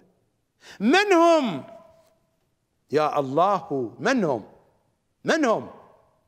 يا الله من هم؟ أهل بيت النبوة.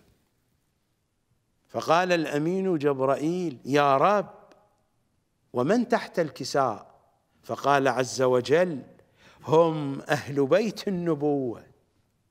ومعدن الرسالة هم فاطمة وأبوها وبعلها وبنوها. فاطمة موجودة في الزياره من أول كلمتين السلام عليكم يا أهل بيت النبوة. فاطمة وأبوها هذا شرع من الله. ماذا تقولون أنتم يا أيها الأغبياء؟ أما هذه الكلمات فقد وضعها المحرفون في هذه الزيارة.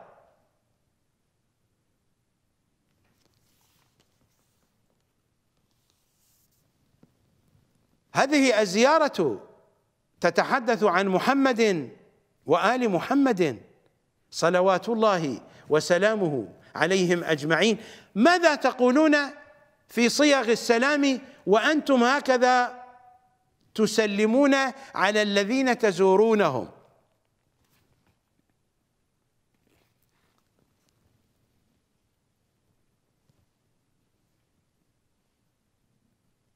السلام على محال معرفه الله ومساكن بركة الله ومعادن حكمة الله وحفظة سر الله وحملة كتاب الله وأوصياء نبي الله. فاطمة لم تكن وصية فاطمة إمام فاطمة القيمة على الدين هي قيمة على الدين أيام أبيها. ومن هنا فهي أم أبيها. وهي قيمة على الدين في زمان كل الأئمة.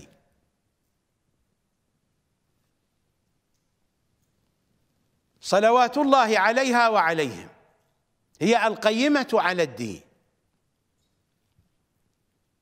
ولكن حينما نقول وذرية رسول الله فهل علي من ذرية رسول الله؟ الزيارة هذه نسجت بنفس لحن آية التطهير. إذا قلتم هنا من أن هذا الكلام جاء من الإمام الهادي فإذا كانت الزيارة لأمير المؤمنين فقل كذا وكذا هذا الكلام يتناقض مع العبائر المذكورة في مقاطع السلام عليهم. وذرية رسول الله. فهل علي من ذرية رسول الله؟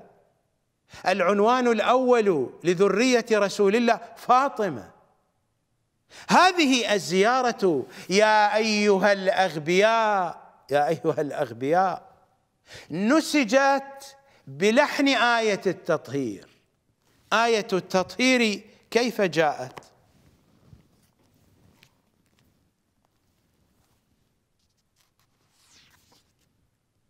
آية التطهير في سورة الأحزاب إنها الآية الثالثة والثلاثون بعد البسملة.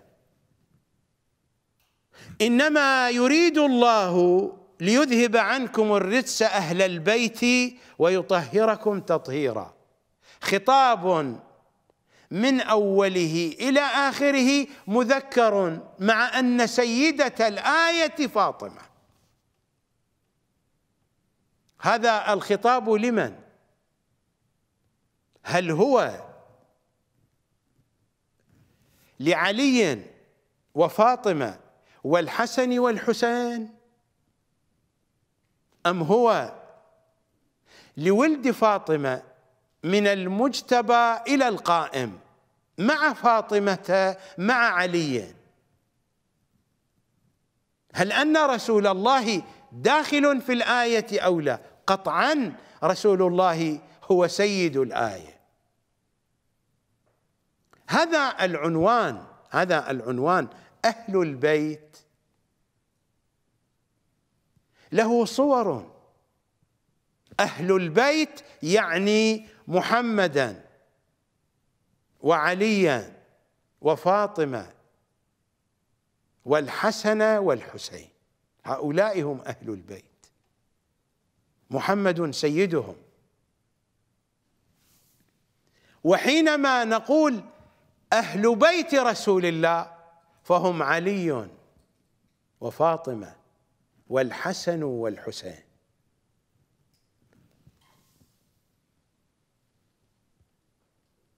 هذه منزلة من منازل هذا العنوان ومنزلة أخرى تستمر إلى القائم. وهناك منزلة لأهل البيت أيضا. لهذا العنوان تدخل فيه زينب الكبرى. ويدخل فيه علي الأكبر ويدخل فيه أبو الفضل العباس ويدخل فيه ويدخل فيه. أهل البيت عنوان له صور له دلالات. ومن هنا فإن الإمامة لها سلاسل. الأئمة الاثنى عشر سلسلة من السلاسل. صار التأكيد عليها لارتباط السلسلة بالحكومة والسياسة. السلسلة الأم الأئمة الأربعة عشر فاطمة الإمام الثالث من أئمة الأئمة وأهل البيت عنوان له منازل له مراتب. في أول الزيارة السلام عليكم يا أهل بيت النبوة. هذا العنوان شامل لمن؟ فاطمة وأبوها وبعلها وبنوها. بنوها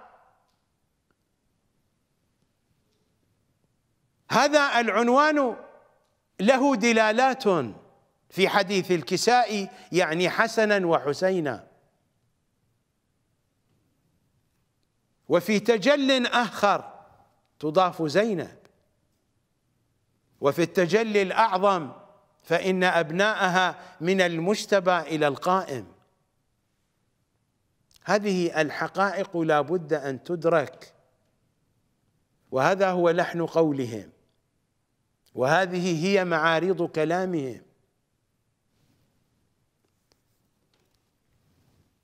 حينما نقرأ إنما يريد الله ليذهب عنكم الرجس أهل البيت ويطهركم تطهيرا.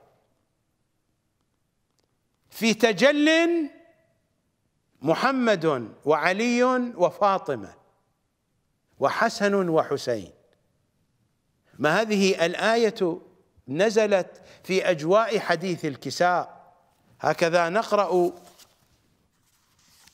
في حديث الكساء فإن رسول الله صلى الله عليه وآله بعد أن اجتمعوا تحت الكساء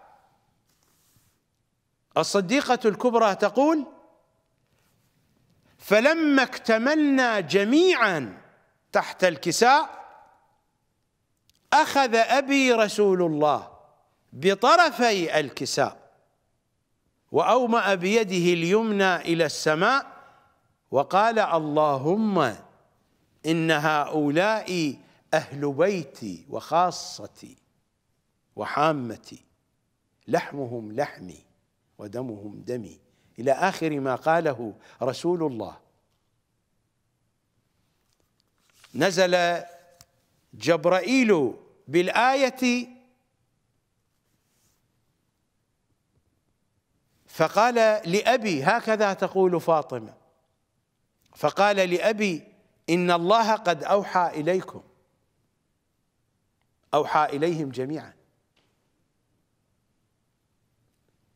وهذا هو المنطق الذي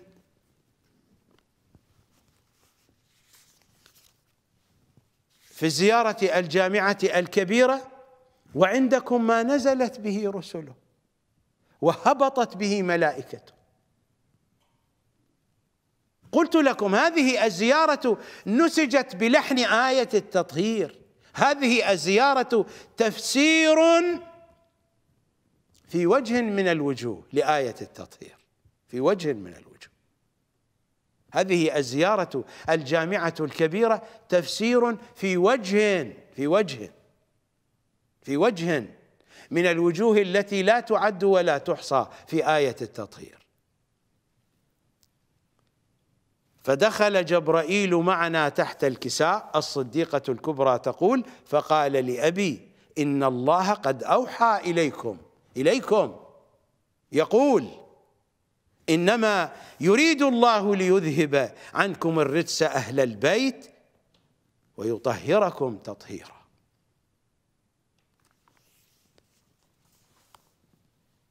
وعندكم ما نزلت به رسله وهبطت به ملائكته. ماذا نصنع لهؤلاء الأغبياء؟ هؤلاء السفلة من أبناء الحرام من مراجع وعلماء الشيعة الذين دمروا ديننا. كيف نخاطبهم؟ كيف نتحدث عنهم؟ وماذا نقول لهم؟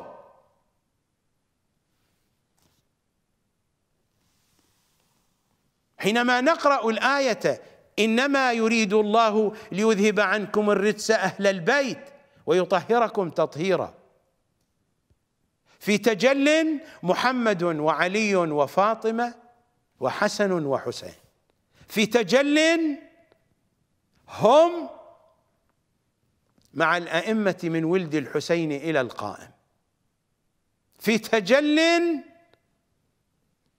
يضاف إليهم في مقام من المقامات زينب الكبرى علي الأكبر قمر الهاشميين و و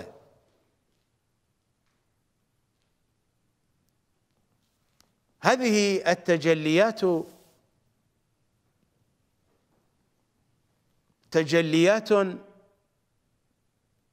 تظهر في آيات الكتاب الكريم بحسب تفسيرهم وفي زياراتهم أيضا. ماذا نقرأ على سبيل المثال؟ نقرأ في الزيارة الجامعة الكبيرة.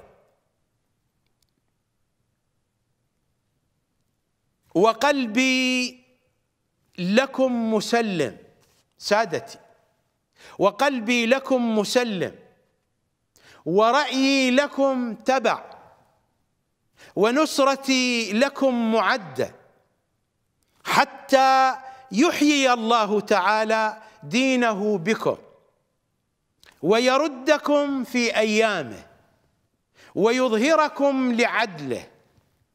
ويمكنكم في أرضه فمعكم معكم لا مع غيركم.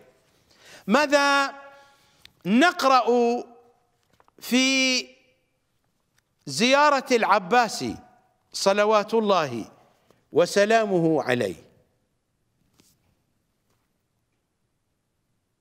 جئتك يا ابن أمير المؤمنين وافدا إليكم.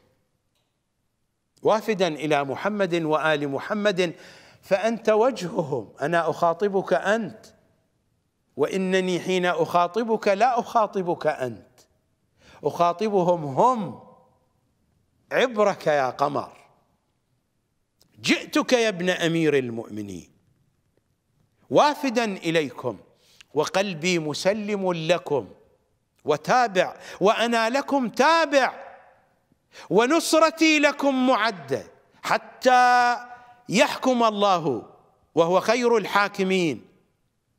فمعكم معكم لا مع عدوكم إني بكم وبإيابكم من المؤمنين. ألا تلاحظون أن المضمون يتجلى بشكل واضح واضح. يتجلى بشكل واضح. من الزيارة الجامعة الكبيرة.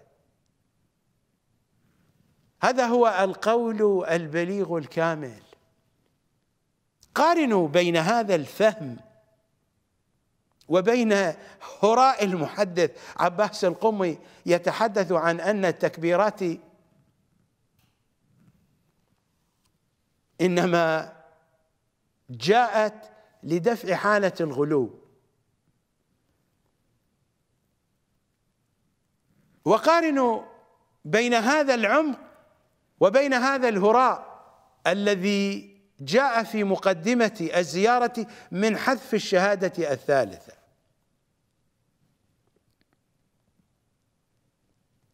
أو من هذا الكلام الذي جاء في وسط الزيارة وعندكم ما نزلت به رسله وهبطت به ملائكته وإلى جدكم بعث الروح الأمين. لدفع شبهة تخطر في أذهان هؤلاء السفلة من مراجع وعلماء الشيعة لئلا يقول النواصب من أننا نقول من أن الوحي ينزل عليه. الوحي ينزل عليه. ألا لعنة على دينكم وعقيدتكم. الوحي ينزل عليه. الروايات والآيات تقول بذلك.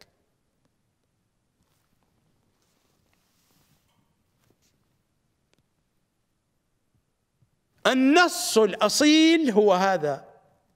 وعندكم ما نزلت به رسله وهبطت به ملائكته آتاكم الله ما لم يؤتي أحدا من العالمين. طأطأ كل شريف لشرفكم. هذا هو المنطق الواضح والصريح والبين. نذهب إلى فاصل.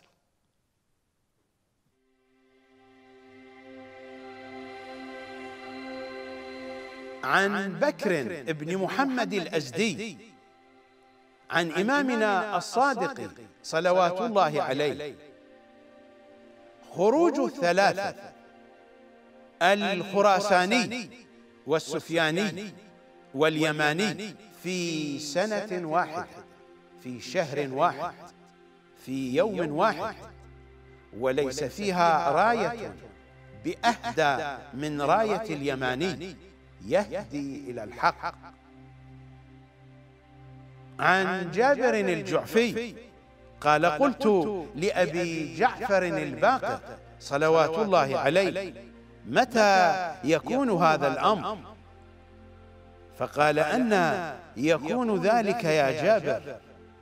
ولما تكثر القتلى بين الحيرة والكوفة.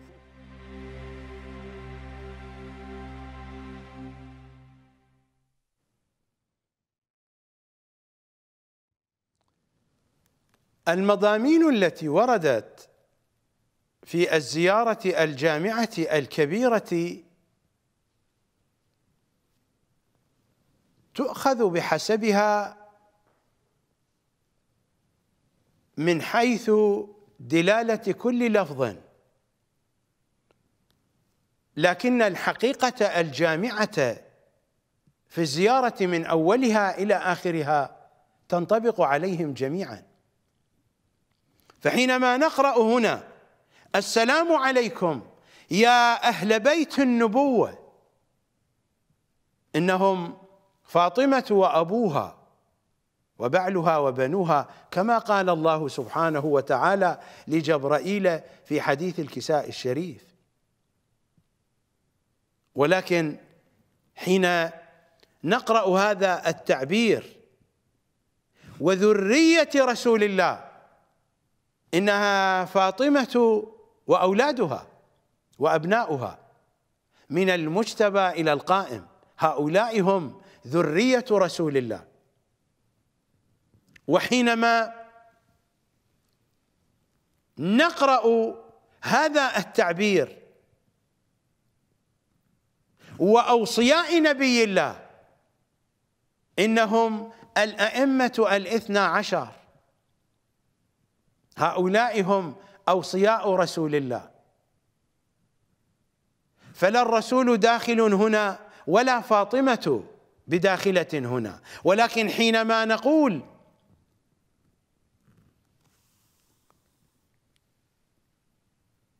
السلام على أئمة الهدى.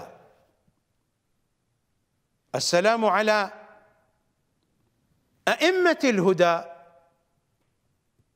إنهم محمد وعلي وفاطمة وولد فاطمة من المجتبى إلى القائم. بالضبط مثلما نقرأ آية التطهير. إنما يريد الله ليذهب عنكم الرجس أهل البيت ويطهركم تطهيرا. فهل الملاحظ أهل بيت النبي فإن محمدا ليس داخلا هنا؟ أم أن الملاحظة أهل البيت العنوان المقدس؟ فإن محمدا هو سيدهم. هل الملاحظ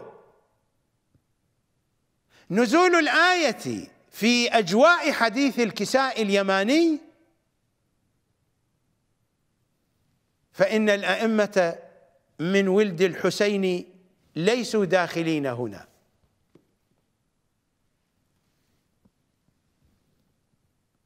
حينما نلاحظ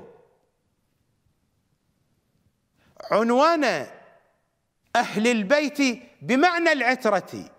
فإن الأئمة من ولد الحسين داخلون في الآية. هكذا قلت لكم. فإن الزيارة الجامعة الكبيرة نسجت بلحن آية التطهير. هذا هو القول البليغ الكامل. هكذا تفهم النصوص. وهذا هو لحن قولهم ومعاريض كلامهم. مثلما قال لنا رسول الله في بيعة الغدير وبايعنا على ذلك هذا علي يفهمكم بعدي. هذا علي يفهمكم بعدي قواعد التفهيم نأخذها من علي من علي ومن علي فقط وفقط وفقط. نذهب إلى فاصل.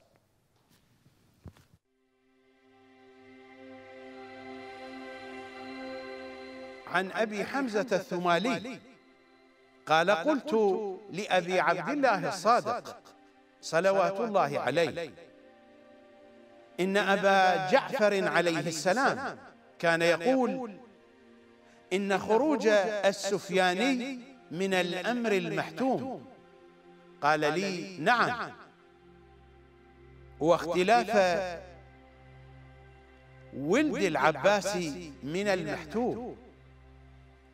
وقتل النفس الزكية من المحتوم. وخروج القائم عليه السلام من المحتوم. فقلت له فكيف يكون النداء؟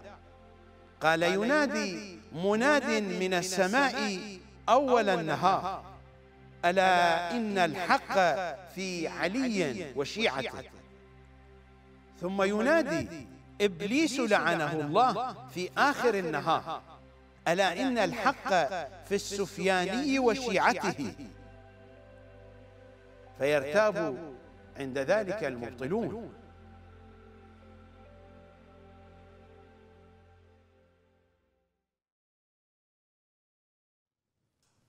للحديث صلة. نلتقي غدا إن شاء الله تعالى كي نكمل ما تبقى من حديث بخصوص زيارتنا الجامعة الكبيرة.